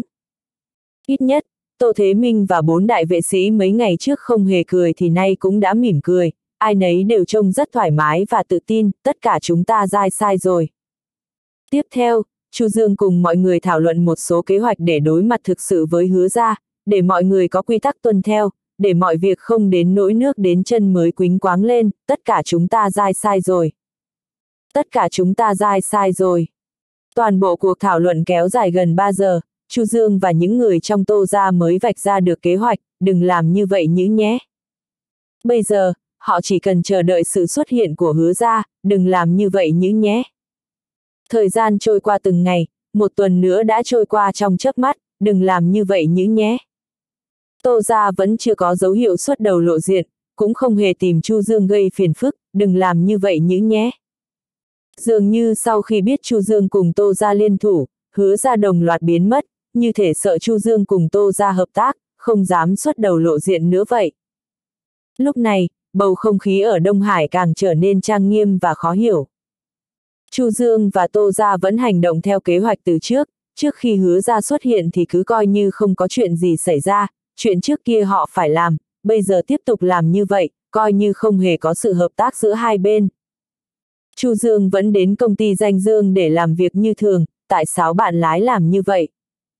Bất kể hứa ra muốn làm gì và phản ứng ra sao, anh đều đã quyết định phải bắt đầu ngay dự án thứ ba của công ty danh dương và phát triển sản phẩm chủ lực thứ ba, loại bỏ tình trạng khan hiếm và đơn lẻ của sản phẩm chủ lực của công ty danh dương, tại sao bạn lái làm như vậy? Trong bầu không khí đó, nhiều gia tộc ở Đông Hải dần có tiếng nói khác, tại sao bạn lái làm như vậy? Rốt cuộc hứa ra làm cái quái gì vậy?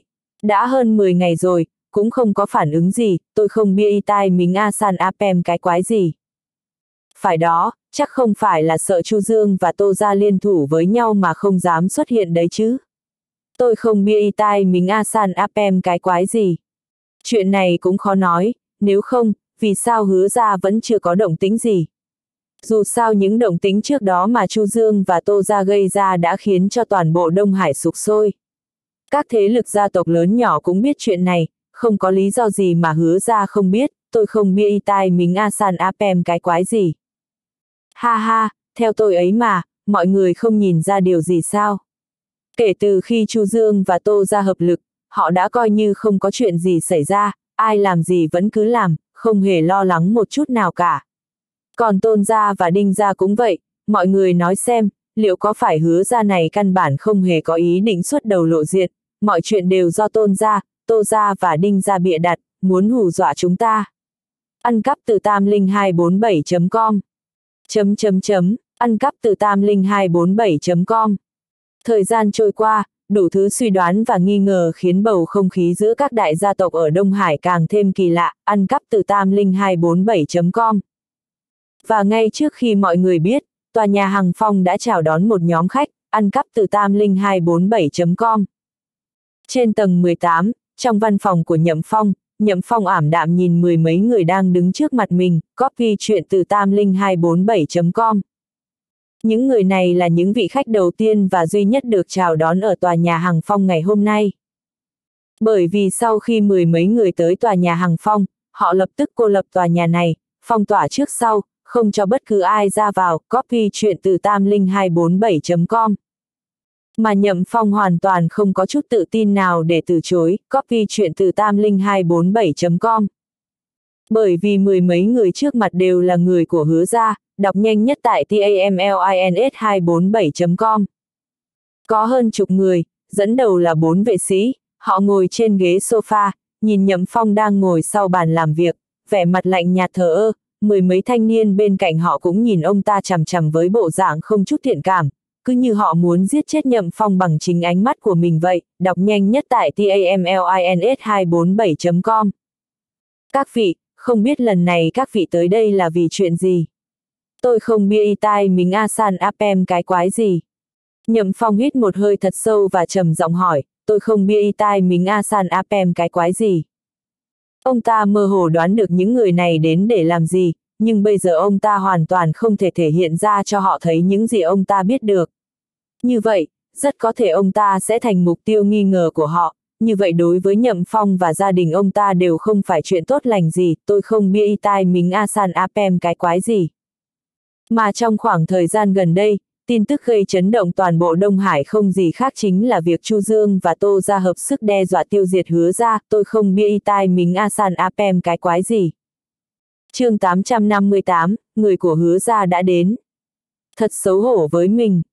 Sự việc này ngay cả nhậm phong ở quận Phổ Đà cũng có nghe nói đến, thậm chí nhiều người bên cạnh ông ta cũng đều đang nghe ngóng chuyện này, thật xấu hổ với mình. Nghĩ đến Chu Dương, trong lòng nhậm phong đột nhiên trùng xuống, thật xấu hổ với mình. Cậu ấy là một người trẻ tuổi can đảm, ít nhất theo cách nhìn của nhậm phong, người có thể đối phó với đám người hứa du một cách bình tĩnh như vậy không phải là một người không có bản lĩnh, thật xấu hổ với mình.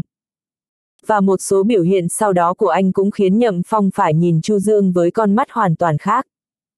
Tất nhiên, trong số này, cháu gái nhậm thanh thanh của ông ta cũng liên tục gọi tên Chu Dương ở nhà.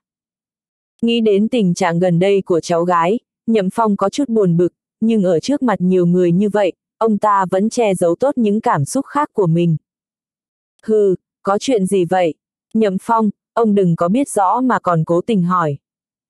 Một thanh niên đột nhiên hét lên, hoàn toàn không vì Nhậm Phong là người lớn tuổi hơn mà kính trọng ông ta, ngược lại còn chừng mắt nhìn Nhậm Phong với vẻ xấu xa, đừng quái lại với tép. Tôi không tin rằng ông không biết những gì đã xảy ra ở Đông Hải trong khoảng thời gian này, đừng quái lại với tép. Hơn nữa, lần trước anh trai tôi đến tìm ông, tại sao giờ còn chưa trở về? Đừng quái lại với tép. Người thanh niên tên là Hứa Địch, là em trai của Hứa Du, đừng quái lại với tép. Lần trước Hứa ra đã cử Hứa Du ra ngoài, nhưng sau một thời gian dài như vậy, Hứa Du hoàn toàn không có phản hồi, thậm chí đã lâu không gửi một tin nhắn nào cho hứa ra, đừng quái lại với tép. Điều này cũng khiến hứa ra lập tức cảnh giác, là em trai, hứa địch đã rất chú ý đến vấn đề này. Hứa Du là một người trẻ tuổi của hứa gia, và còn là tông sư võ giả duy nhất có một tương lai đầy hứa hẹn trong hứa gia. Tương lai rất có thể hắn sẽ trở thành một vệ sĩ, mà như vậy, cả gia đình họ ở hứa gia cũng sẽ nước lên thuyền lên, đừng quái lại với tép. Nhưng hiện tại không rõ tung tích của hứa du, hứa địch lập tức trở nên u ám, ngày đêm cầu mong hứa du không sao, đừng quái lại với tép. Và lần này, bốn vệ sĩ cùng liên thủ xuất hiện, hứa địch cũng xin đi theo. Hắn thề là phải tìm được anh trai mình, dù là sống hay chết, ít nhất cũng phải có kết quả. Nhậm Phong là người cuối cùng tiếp xúc với hứa du trước khi có tin hứa du mất tích nên đương nhiên ông ta là người đáng ngờ nhất, tại sao bạn lái làm như vậy? Vậy nên hứa địch sẽ không đối xử với Nhậm Phong ra gì, nếu không phải bởi vì có bốn vệ sĩ ở đây, hứa địch phải bảo vệ thể diện cho họ, không thể làm cho Nhậm Phong quá xấu hổ, nếu không hắn thậm chí còn muốn đấm thẳng vào mặt ông ta, dạy cho ông ta một bài học nghiêm khắc, tại sao bạn lái làm như vậy? Cậu là, tại sao bạn lái làm như vậy? Nhậm Phong cố tỏ ra vẻ ngạc nhiên nhìn hứa địch hỏi, tại sao bạn lái làm như vậy? Hừ, tôi là hứa địch, anh trai tôi là hứa du, đừng nói với tôi là ông không biết tên anh trai tôi. Tại sao bạn lái làm như vậy? Hứa địch rất khó chịu, tại sao bạn lái làm như vậy? Thì ra là hứa du, tôi biết, chỉ là anh của cậu không về thì liên quan gì đến tôi. Tôi đâu thể bắt nhốt anh trai cậu lại được chứ. Hơn nữa, anh trai cậu là một tông sư võ giả, nhìn khắp Đông Hải này, gần như không có nơi nào mà cậu ta không đến được. Cậu ta đi đến đâu tôi làm sao biết được, tại sao bạn lái làm như vậy? Nhậm Phong nói với vẻ buồn bực, như thể ông ta thực sự không biết hứa du đi đâu vậy. Hơn nữa, mặc dù tôi sống ở Đông Hải, nhưng gần như tôi chỉ sống trên mảnh đất rộng ba mẫu của mình. Về những vấn đề bên ngoài quận Phổ Đà, tôi luôn ngại hỏi thêm. Gần đây có chuyện gì lớn xảy ra ở Đông Hải hay không, tôi thực sự không biết. Hay là cậu nói cho tôi biết được không? Ăn cắp từ tam linh 247.com Nhậm Phong dừng dưng nói, ăn cắp từ tam linh 247.com Chỉ là một hứa địch, thực lực còn chưa đạt đến cảnh giới tông sư võ giả, lại còn trẻ tuổi như vậy mà lại tỏ vẻ trước mặt Nhậm Phong, không đời nào ông ta chịu nghe theo hắn. Không dạy dỗ cho hắn một bài học, khiến hắn biết thế giới này hiểm ác như thế nào, Nhậm Phong nơi nào sẽ quen hắn, cũng không dạy hắn để cho hắn biết thế giới này nham hiểm như thế nào đã là nể mặt bốn vệ sĩ kia lắm rồi đấy, ăn cắp từ tam linh 247.com. Cái lão chết tiệt này, tôi, ăn cắp từ tam linh 247.com. Hứa địch là một người tính khí hung bạo, khi Nhậm Phong nói như vậy làm sao hắn có thể chịu đựng được, hắn liền bộc phát tính khí ấy ra ngay lập tức, định lao vào dạy dỗ Nhậm Phong. Ừ, copy chuyện từ tam linh 247.com. Nhậm Phong liếc xéo, không có bất kỳ phản ứng nào, copy chuyện từ tam linh 247.com. Một trong bốn vệ sĩ đã nhanh chóng túm lấy hứa địch, vẻ mặt hơi bất ngờ, copy chuyện từ tam linh 247.com. Hứa địch, không được hỗn láo. Đây không phải là chỗ để cậu làm sằng. Cút ngay sang một bên. Nếu còn hỗn láo nữa thì cậu cút ngay về gia tộc cho tôi. Rõ là đồ làm mất mặt. Copy chuyện từ tam linh 247.com. Vệ sĩ này khiển trách hứa địch với vẻ mặt không chút cảm xúc, khiến cho hứa địch tiêu tan cơn bộc phát tính khí, sắc mặt hắn càng khó coi hơn, copy chuyện từ tam linh 247.com. Nhậm Phong nhìn thấy tất cả và chỉ im lặng. Ông ta biết vài lời khiển trách vừa rồi của vệ sĩ đó là thật sự muốn khiển trách hứa địch, nhưng cũng có ý làm ra vẻ cho mình xem, muốn làm mình nguôi giận, đọc nhanh nhất tại tamlins247.com. Nhưng hứa địch chỉ là một thanh niên, hoàn toàn chẳng là gì cả. Đương nhiên nhậm phong cũng không thèm đôi co với hắn, ông ta chỉ xua xua tay, sắc mặt cũng dần trở lại bình thường, đọc nhanh nhất tại tamlins247.com. Nhậm phong, lần này chúng tôi xuất hiện là do gần đây có tin đồn ở Đông Hải, ông ở Đông Hải đã lâu, hãy nói tỉ mỉ cho chúng tôi nghe đi, đọc nhanh nhất tại tamlins247.com. Một ông lão mặc chiếc áo bảo dài màu xanh trầm giọng nói, tôi không bia y tai mình a san apem cái quái gì. Vừa dứt lời, những người khác, thậm chí cả ba vệ sĩ khác, đều ngồi ngay ngắn lên, không dám có bộ dạng gì khác. Nhậm Phong khẽ liếc mắt nhìn vệ sĩ vừa nói chuyện, trong lòng ông biết ông ta có lẽ chính là người lãnh đạo đám người hứa ra lần này, là một người có sức mạnh lớn nhất trong số bốn vệ sĩ hứa ra, tôi không bia y tai mình a san apem cái quái gì. Còn về những người khác, Nhậm Phong có thể tùy tiện đối phó, thậm chí không thèm tiếp lời. Nhưng với một người như vậy, Nhậm Phong không thể làm điều này, nếu không ông ta sẽ bị hứa ra nắm được thóp, sau này sẽ dễ dàng hơn cho hứa ra để tìm cớ xử lý mình, tôi không bia y tai mình a san apem cái quái gì.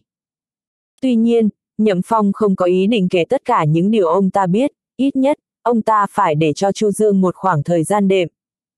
Sau khi cân nhắc một lúc, Nhậm Phong mới lên tiếng nói. Gần đây không có gì đặc biệt xảy ra ở Đông Hải, nhưng có một tin đồn, đừng quái lại với tép. Ồ, tin đồn, tin đồn gì, đừng quái lại với tép. Vệ sĩ lãnh đạo hỏi Nhậm Phong, ánh mắt ông ta nhìn chằm chằm vào Nhậm Phong, quan sát tất cả những thay đổi trên khuôn mặt Nhậm Phong. Nếu Nhậm Phong che giấu điều gì hoặc có dấu vết dao động cảm xúc, ông ta có thể nắm bắt được ngay tức thì, đừng quái lại với tép. Có tin đồn rằng Chu Dương, cổ đông của công ty danh dương đã liên thủ với Tô ra một gia tộc hàng đầu ở Đông Hải. Hai bên liên thủ với nhau là muốn tiêu diệt hứa ra, địa điểm chính là Thúy Hồ Cư. Hơn nữa khi đó ngoài Chu Dương và Tô Gia Gia, còn có cả Tôn Gia, Đinh Gia và các thế lực gia tộc lớn nhỏ khác ở Đông Hải nữa. Có đến gần trăm gia tộc đều biết chuyện này, cuộc đời khi phông như vá óc đấp. Và đây là những gì tôi nghe được từ một người bạn, sự thật rốt cuộc như thế nào tôi cũng không được rõ. Nhậm Phong nói xong, chậm rãi cầm chén trà lên, nhấp một ngụm nhỏ, cuộc đời khi phông như vá óc đấp. Ánh mắt của vệ sĩ đó dừng lại trên khuôn mặt Nhậm Phong gần nửa phút mới dần dần thu lại, cuộc đời khi phông như vá óc đấp. Vừa rồi, ánh mắt của ông ta vẫn luôn nhìn vào khuôn mặt của Nhậm Phong, và ông ta đã nhìn thấy tất cả những thay đổi trong biểu hiện của Nhậm Phong, không thấy bất kỳ thay đổi cảm xúc nào ở Nhậm Phong, nên ông ta biết rằng có lẽ những gì Nhậm Phong đã nói là sự thật. Chu Dương kia chính là người mà hứa du tới tìm lúc trước. Nếu như ông đã biết Chu Dương, hơn nữa trước đó hứa du cũng ở chỗ ông, vậy giờ hứa du đang ở đâu ông có biết không? Chưa xong, tên vệ sĩ lại hỏi về chuyện của hứa du. Rất rõ ràng, hỏi về chuyện của hứa du cũng là nhiệm vụ quan trọng lần này của họ. chương 859, hứa địch. Vệ sĩ kia hỏi xong, hứa địch lập tức căng thẳng nhìn nhậm phong, muốn nhìn ra điều gì đó từ trên khuôn mặt ông ta. Hứa du đã mất tích gần một tháng, trong một tháng nay, thời gian đầu hứa ra chỉ hỏi thăm sơ lược, sau đó cũng không hỏi thêm nhiều, dù sao, chuyện quan trọng nhất bây giờ của hứa ra là xuất đầu lộ diện. Do đó về sau, chỉ có gia đình hứa địch dành phần lớn thời gian tìm kiếm tin tức của hứa du. Thế nhưng, đám người hứa địch vẫn không có bất kỳ tin tức liên quan đến hứa du, giống như hứa du thật sự bốc hơi biến mất trong thế giới loài người. Điều này khiến cả nhà hứa địch đứng ngồi không yên. Hứa du là trụ cột trong nhà, giúp gia đình vực dậy, trở thành thành viên quan trọng nhất của hứa gia. Bây giờ hứa du mất tích, những người của hứa gia đi theo hứa du lúc đầu cũng không thấy tăm hơi, bọn họ đẩy toàn bộ trách nhiệm lên người hứa địch. Điều này khiến hoàn cảnh của hứa địch ở hứa gia càng thêm khó khăn. Cho nên lần này, hứa địch cùng với nhóm vệ sĩ ra ngoài tìm kiếm hứa du. Bây giờ vệ sĩ hạng nhất đã đặt câu hỏi, Nhậm Phong dù biết hay không, đều phải trả lời. Nhậm Phong nhìn thấy sắc mặt của hứa địch, trên mặt ông ta không có chút biểu cảm. Tôi không biết. Nhậm Phong lãnh đạm nói. Khốn nạn, sao ông có thể không biết, anh trai của tôi ra ngoài đã đến chỗ ông ngay, thế nhưng gần một tháng nay vẫn chưa trở về, ông lại nói không biết sao.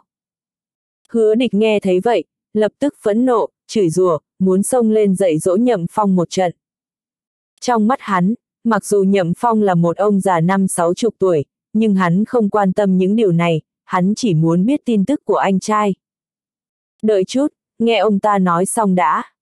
Tên vệ sĩ kéo tay hứa địch, trầm giọng nói, đôi mắt cực kỳ sắc bén dán chặt vào nhậm phong, như xé toạc màn xương mù dày đặc, phơi bày toàn bộ chân tướng ban đầu ra. Ông ta nghĩ rằng, tự mình đặt câu hỏi, có lẽ nhậm phong sẽ nói ra tung tích của hứa du. Thế nhưng ông ta không ngờ rằng, nhậm phong vẫn phủ nhận. Ông ta không liên quan gì đến chuyện sống chết của hứa du, nhưng vẫn có tác dụng nhất định với toàn bộ hứa gia. Dù sao là một tông sư võ giả, là sự tồn tại không thể xem thường ở bất kỳ nơi nào. Kể từ khi hứa ra trải qua trận nội chiến hơn 10 năm trước, thực lực của hứa ra bây giờ đã suy giảm, không lớn mạnh như trước, cho nên mỗi tông sư võ giả là một đồ bảo hộ đối với hứa Gia. Huống hồ, hứa du là một võ sư mới được thăng cấp, tiềm lực rất lớn trong tương lai.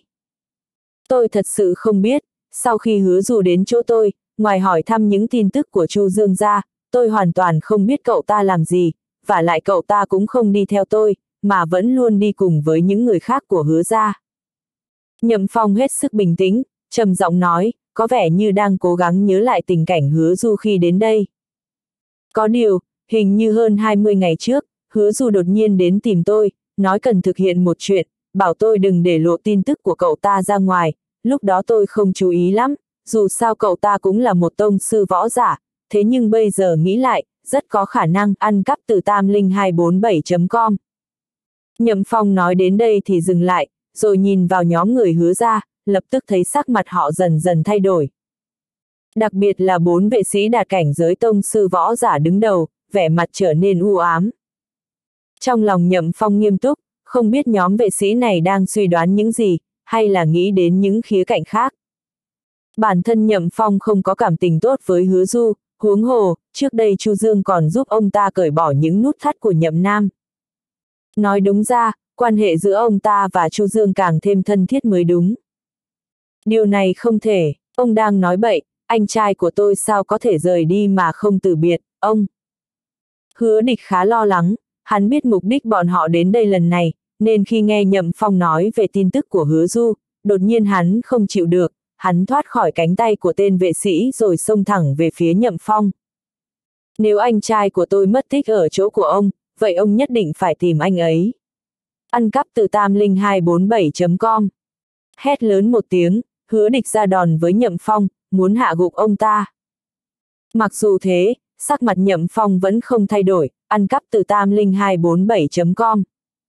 Hứa địch còn lại gần, La Hải vẫn luôn lặng lẽ đứng bên cạnh Nhậm Phong đột nhiên di chuyển. La Hải là thư ký của Nhậm Phong, luôn đi theo bên cạnh Nhậm Phong, có thể nói nửa bước không rời, lúc Nhậm Phong hợp tác với Chu Dương trước đây, La Hải là người đi theo xử lý việc này. Có thể nói, La Hải là người mà Nhậm Phong vô cùng tin tưởng, ăn cá ăn cắp từ tam linh 247, com từ tam linh 247.com. Hứa địch không ngờ rằng, một thanh niên vẫn luôn đứng cạnh Nhậm Phong lại ra tay với mình, liền cười chế nhạo. Người thanh niên này, khoảng 30 tuổi, căn bản nhìn không ra thực lực của một cao thủ. Còn hứa địch là người xuất sắc trong thế hệ trẻ đời thứ nhất của hứa gia, ăn cắp từ tam linh 247.com. Tuy thực lực chưa đạt đến cảnh giới tông sư võ giả, nhưng đã rất gần với cảnh giới tông sư võ giả, là một bán bộ tông sư võ giả, cho nên hắn vốn dĩ không cho rằng người thanh niên này có thể ngăn cản mình. Muốn chết, ăn cắp từ tam linh 247.com. Gầm lên một tiếng, hứa địch không dừng tay, mà càng trở nên hung tợn, ăn cắp từ tam linh 247.com. Dừng, ăn cắp từ tam linh 247.com. La Hải hét lớn, tung ra một đòn đánh, ăn cắp từ tam linh 247.com. Lập tức, hai nắm đấm chạm vào nhau, hai bên đột nhiên lùi lại. Sắc mặt La Hải nghiêm nghị, cảnh giác nhìn hứa địch, anh ta không muốn hứa địch xông lên một lần nữa. Còn hứa địch nhìn La Hải một cách kinh ngạc. Vừa nãy mặc dù hai người chỉ va chạm nắm đấm, nhưng hứa địch cảm nhận được, người thanh niên này tuy chưa đạt đến cảnh giới tông sư võ giả, nhưng thực lực ngang bằng với mình.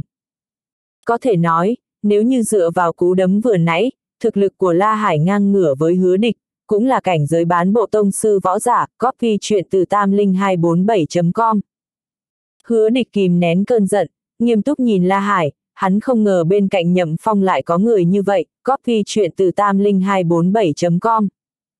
Chỉ có vậy mà muốn ngăn cản tôi sao? Nếu hôm nay ông không nói ra tung tích của anh trai tôi, thì hứa ra sẽ không để yên đâu. Copy chuyện từ tam linh 247.com. Hứa địch biết, có La Hải ở đây, bản thân hắn không thể làm gì nhậm phong, chỉ có thể lạnh lùng uy hiếp.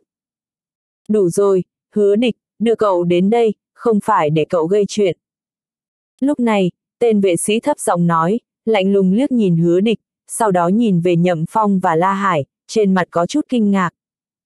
Không phải thực lực của La Hải khiến ông ta kinh ngạc, cảnh giới bán bộ tông sư võ giả hoàn toàn không đáng để nhắc tới trước mặt một tông sư võ giả chân chính như ông ta tôi không bia y tai mình Asan Apem cái quái gì.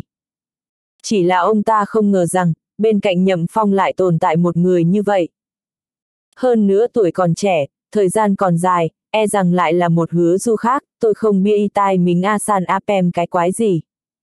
Nhậm phong, tôi muốn nghe sự thật, ông đừng qua mặt tôi. Tên vệ sĩ kia lại nhìn nhậm phong lần nữa, trầm giọng nói. Những điều tôi nói đều là sự thật, hứa du là một tông sư võ giả, tôi có thể làm gì cậu ta chứ, nhưng lúc cậu ta đến khá thần bí, hình như có hứng thú với thứ đồ gì trên người Chu Dương, tôi cũng không biết đó là thứ gì. Sau này cậu ta giao đấu với Chu Dương một lần, sau đó rời đi. Nhậm Phong thản nhiên nói. chương 860, giải thích rõ.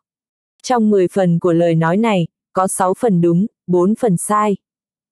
Lúc hứa du đến, thật sự trông có vẻ hứng thú một vài thứ trên người Chu Dương, Nhậm Phong cũng vô tình nghe bọn họ nói, mới ghi nhớ trong lòng. Lúc này, ông ta có thể lợi dụng điểm này, thay đổi sự chú ý của nhóm người hứa ra. Quả nhiên, Nhậm Phong vừa nói xong, bốn vệ sĩ chố mắt nhìn nhau, sắc mặt trở nên khó coi. Nhậm Phong không biết đó là thứ đồ gì, mà bốn vệ sĩ bọn họ lại biết chính xác. Bọn họ thầm kinh ngạc. Lẽ nào hứa du đã lấy được thứ đồ đó, không từ mà biệt, muốn độc chiếm lợi ích. Nhưng bọn họ cũng không dám phán đoán trước khi chưa thấy hứa du. Chuyện liên minh giữa Chu Dương và Tô Gia là như thế nào, ông nói rõ đi. Tên vệ sĩ đứng đầu hỏi tiếp. Lần này bọn họ đến đây, ngoài chuyện tìm kiếm hứa du ra, còn muốn tìm hiểu chuyện hợp tác giữa Chu Dương và Tô Gia, phao tin đồn muốn tiêu diệt hứa ra. Bây giờ hứa ra vẫn chưa xuất đầu lộ diện, cũng chưa biết rõ một số chuyện ở Đông Hải. Nhưng liên minh giữa Chu Dương và Tô Gia, chuyện tin đồn muốn tiêu diệt hứa ra đang xôn xao toàn Đông Hải, cho dù hứa ra chưa xuất hiện, cũng nghe thấy không ít tin đồn.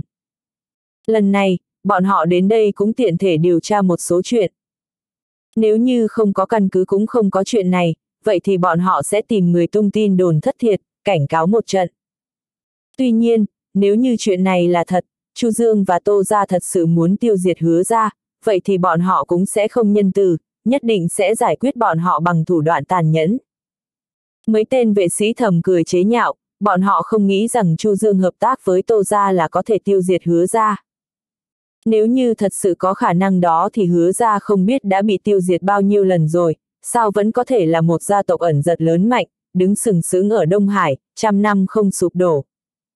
Tôi cũng không biết rõ chuyện này, chỉ nghe người khác nói lại. Nhậm Phong biết rằng dù thế nào ông ta cũng không thể giấu được chuyện này, thậm chí, cho dù ông ta muốn lừa gạt người của hứa ra cũng không thể làm được. Quả thật, Chu Dương và Tô ra quá phách lối, bây giờ dường như toàn bộ thế lực và gia tộc lớn nhỏ ở Đông Hải đều biết chuyện này, mọi người trong hứa ra đều tìm một vài gia tộc để nghe ngóng tìm hiểu thông tin. Cho nên Nhậm Phong cũng không định nói dối những điều này, nói hết ra những điều mình biết. Nửa tiếng sau, Nhậm Phong mới nói xong. Vừa nãy ông ta nói về nguồn gốc của tin tức Chu Dương hợp tác với Tô Gia muốn tiêu diệt hứa ra, và một số tình hình cơ bản hôm đó. Những điều này, mọi người đều biết, không thể coi là bí mật. Sau đó, Nhậm Phong lại nói một số chuyện của Chu Dương và Tô Gia. Về mặt này, đương nhiên Nhậm Phong sẽ không nói ra toàn bộ mọi chuyện, ông ta chỉ giới thiệu qua về tình hình của Tô Gia và Chu Dương. Sau khi đám người hứa ra yên lặng lắng nghe, đột nhiên vô cùng tức giận. Bọn họ là người của hứa gia, đường đường là một gia tộc ẩn giật, bây giờ lại có lời đồn muốn tiêu diệt bọn họ, đúng là tự tìm cái chết. Không đợi bốn vệ sĩ nói gì, những người khác đột nhiên không nhẫn nhịn được, từng người một bắt đầu chửi rủa, giống như đám người Chu Dương và Tô Gia ở trước mặt bọn họ, bọn họ sẽ thẳng thừng ra tay, dạy dỗ họ một trận, hứa ra tuyệt đối không phải là người mà bọn họ có thể xúc phạm. Được rồi, đừng nói nữa. Tên vệ sĩ đứng đầu đột nhiên đứng lên, lạnh lùng nói. Đám người hứa ra nghe vậy, lập tức yên lặng. Nhậm Phong quan sát toàn bộ cảnh tượng trước mắt, càng thêm hiếu kỳ với tên vệ sĩ đứng đầu. Nhậm Phong không biết nhiều về người của hứa gia. Ông ta cũng không quen ai trong nhóm người hứa ra đến lần này. Còn biểu hiện của tên vệ sĩ đứng đầu trước mặt khiến Nhậm Phong nhìn với một cặp mắt khác, trong lòng càng tăng thêm tính cảnh giác với ông ta. Có một người như vậy ở đây, đám người Chu Dương sẽ không dễ dàng thành công, ngược lại, có thể gặp nhiều khó khăn và cản trở. Cho dù chuyện này là thật hay giả, chúng ta đã biết thì không thể không quan tâm, nếu không thì đâu còn uy nghiêm của hứa ra chúng ta nữa. Tên vệ sĩ đứng đầu thấp giọng nói, mọi người chố mắt nhìn nhau, sau đó quay người nhìn Nhậm Phong. Thời gian tới, chúng tôi đến xử lý chuyện này, vẫn phải quấy rầy ông một lúc, ông đi sắp xếp đi. Giọng điệu của tên vệ sĩ đứng đầu rất tùy tiện, hơn nữa còn ngầm mang theo giọng điệu ra lệnh. Giống như Nhậm Phong là cấp dưới của đám người hứa ra, còn họ là ông chủ ở trên cao. Sắc mặt của Nhậm Phong không có bất kỳ thay đổi nào, vẫn y như cũ, khẽ gật đầu, đồng ý. Quan hệ giữa ông ta và hứa ra đã như vậy từ 10 năm trước. Kể từ sự việc của Nhậm Nam, trong mắt người của hứa ra, ông ta không khác một người cấp dưới là bao, thuộc kiểu người có thể làm bất cứ việc gì. Nhậm Phong không tỏ ra bất mãn để tránh người của hứa ra có lý do đối phó và xử lý mình, như vậy, ông ta sẽ không xứng đáng trở thành chủ tịch của tòa nhà Hàng Phong. Sau khi đồng ý, Nhậm Phong lập tức để La Hải đi thu xếp, bố trí ổn thỏa cho nhóm người của hứa ra ở tòa nhà Hàng Phong. Sự việc đám người hứa ra đã đến, Chu Dương không biết, Tô Gia, Tôn Gia, Đinh Gia không biết, các gia tộc lớn nhỏ ở Đông Hải cũng không biết. Lúc này, người của hứa gia sẽ giữ bí mật, trước khi nghe ngóng được tình hình cụ thể, họ sẽ không dễ dàng để lộ thân phận của mình. Cho nên, thời gian này, ngày càng nhiều các thế lực và gia tộc ở Đông Hải quan tâm đến chuyện Chu Dương và Tô Gia.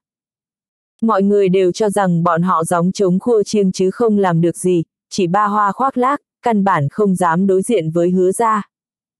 Vậy Chu Dương và Tô Gia rốt cuộc xảy ra chuyện gì? Đúng vậy, đã lâu như vậy mà không có động tính gì, bọn họ chỉ khoe khoang thôi sao? Cái này khó nói lắm, mà bên hứa ra cũng không có phản ứng nào sao? Đúng vậy, hứa ra sao không có phản ứng, lẽ nào bọn họ không biết chuyện này ư? Không ít người bàn tán xôn xao, không ngừng nghe ngóng về Chu Dương, Tô Gia, và hứa Gia. Thế nhưng, cho đến nay, mọi người cũng không hỏi thăm được bất kỳ tin tức nào. Chu Dương và Tô Gia không cần nói nhiều như thường lệ. Chu Dương vẫn đi làm ở công ty danh Dương, nghe nói đang khẩn trương chuẩn bị cho ra mắt sản phẩm chủ lực thứ ba, điều này khiến nhiều gia tộc có ngành công nghiệp mỹ phẩm rất kích động, đồng thời âm thầm mong đợi. Hai sản phẩm chủ lực của công ty danh Dương trước đây rất nổi tiếng, có doanh thu lớn, hơn nữa bất ngờ đưa công ty danh Dương trở thành công ty mới hot nhất cả nước. Audio điện tử võ tấn bền Hết tập 50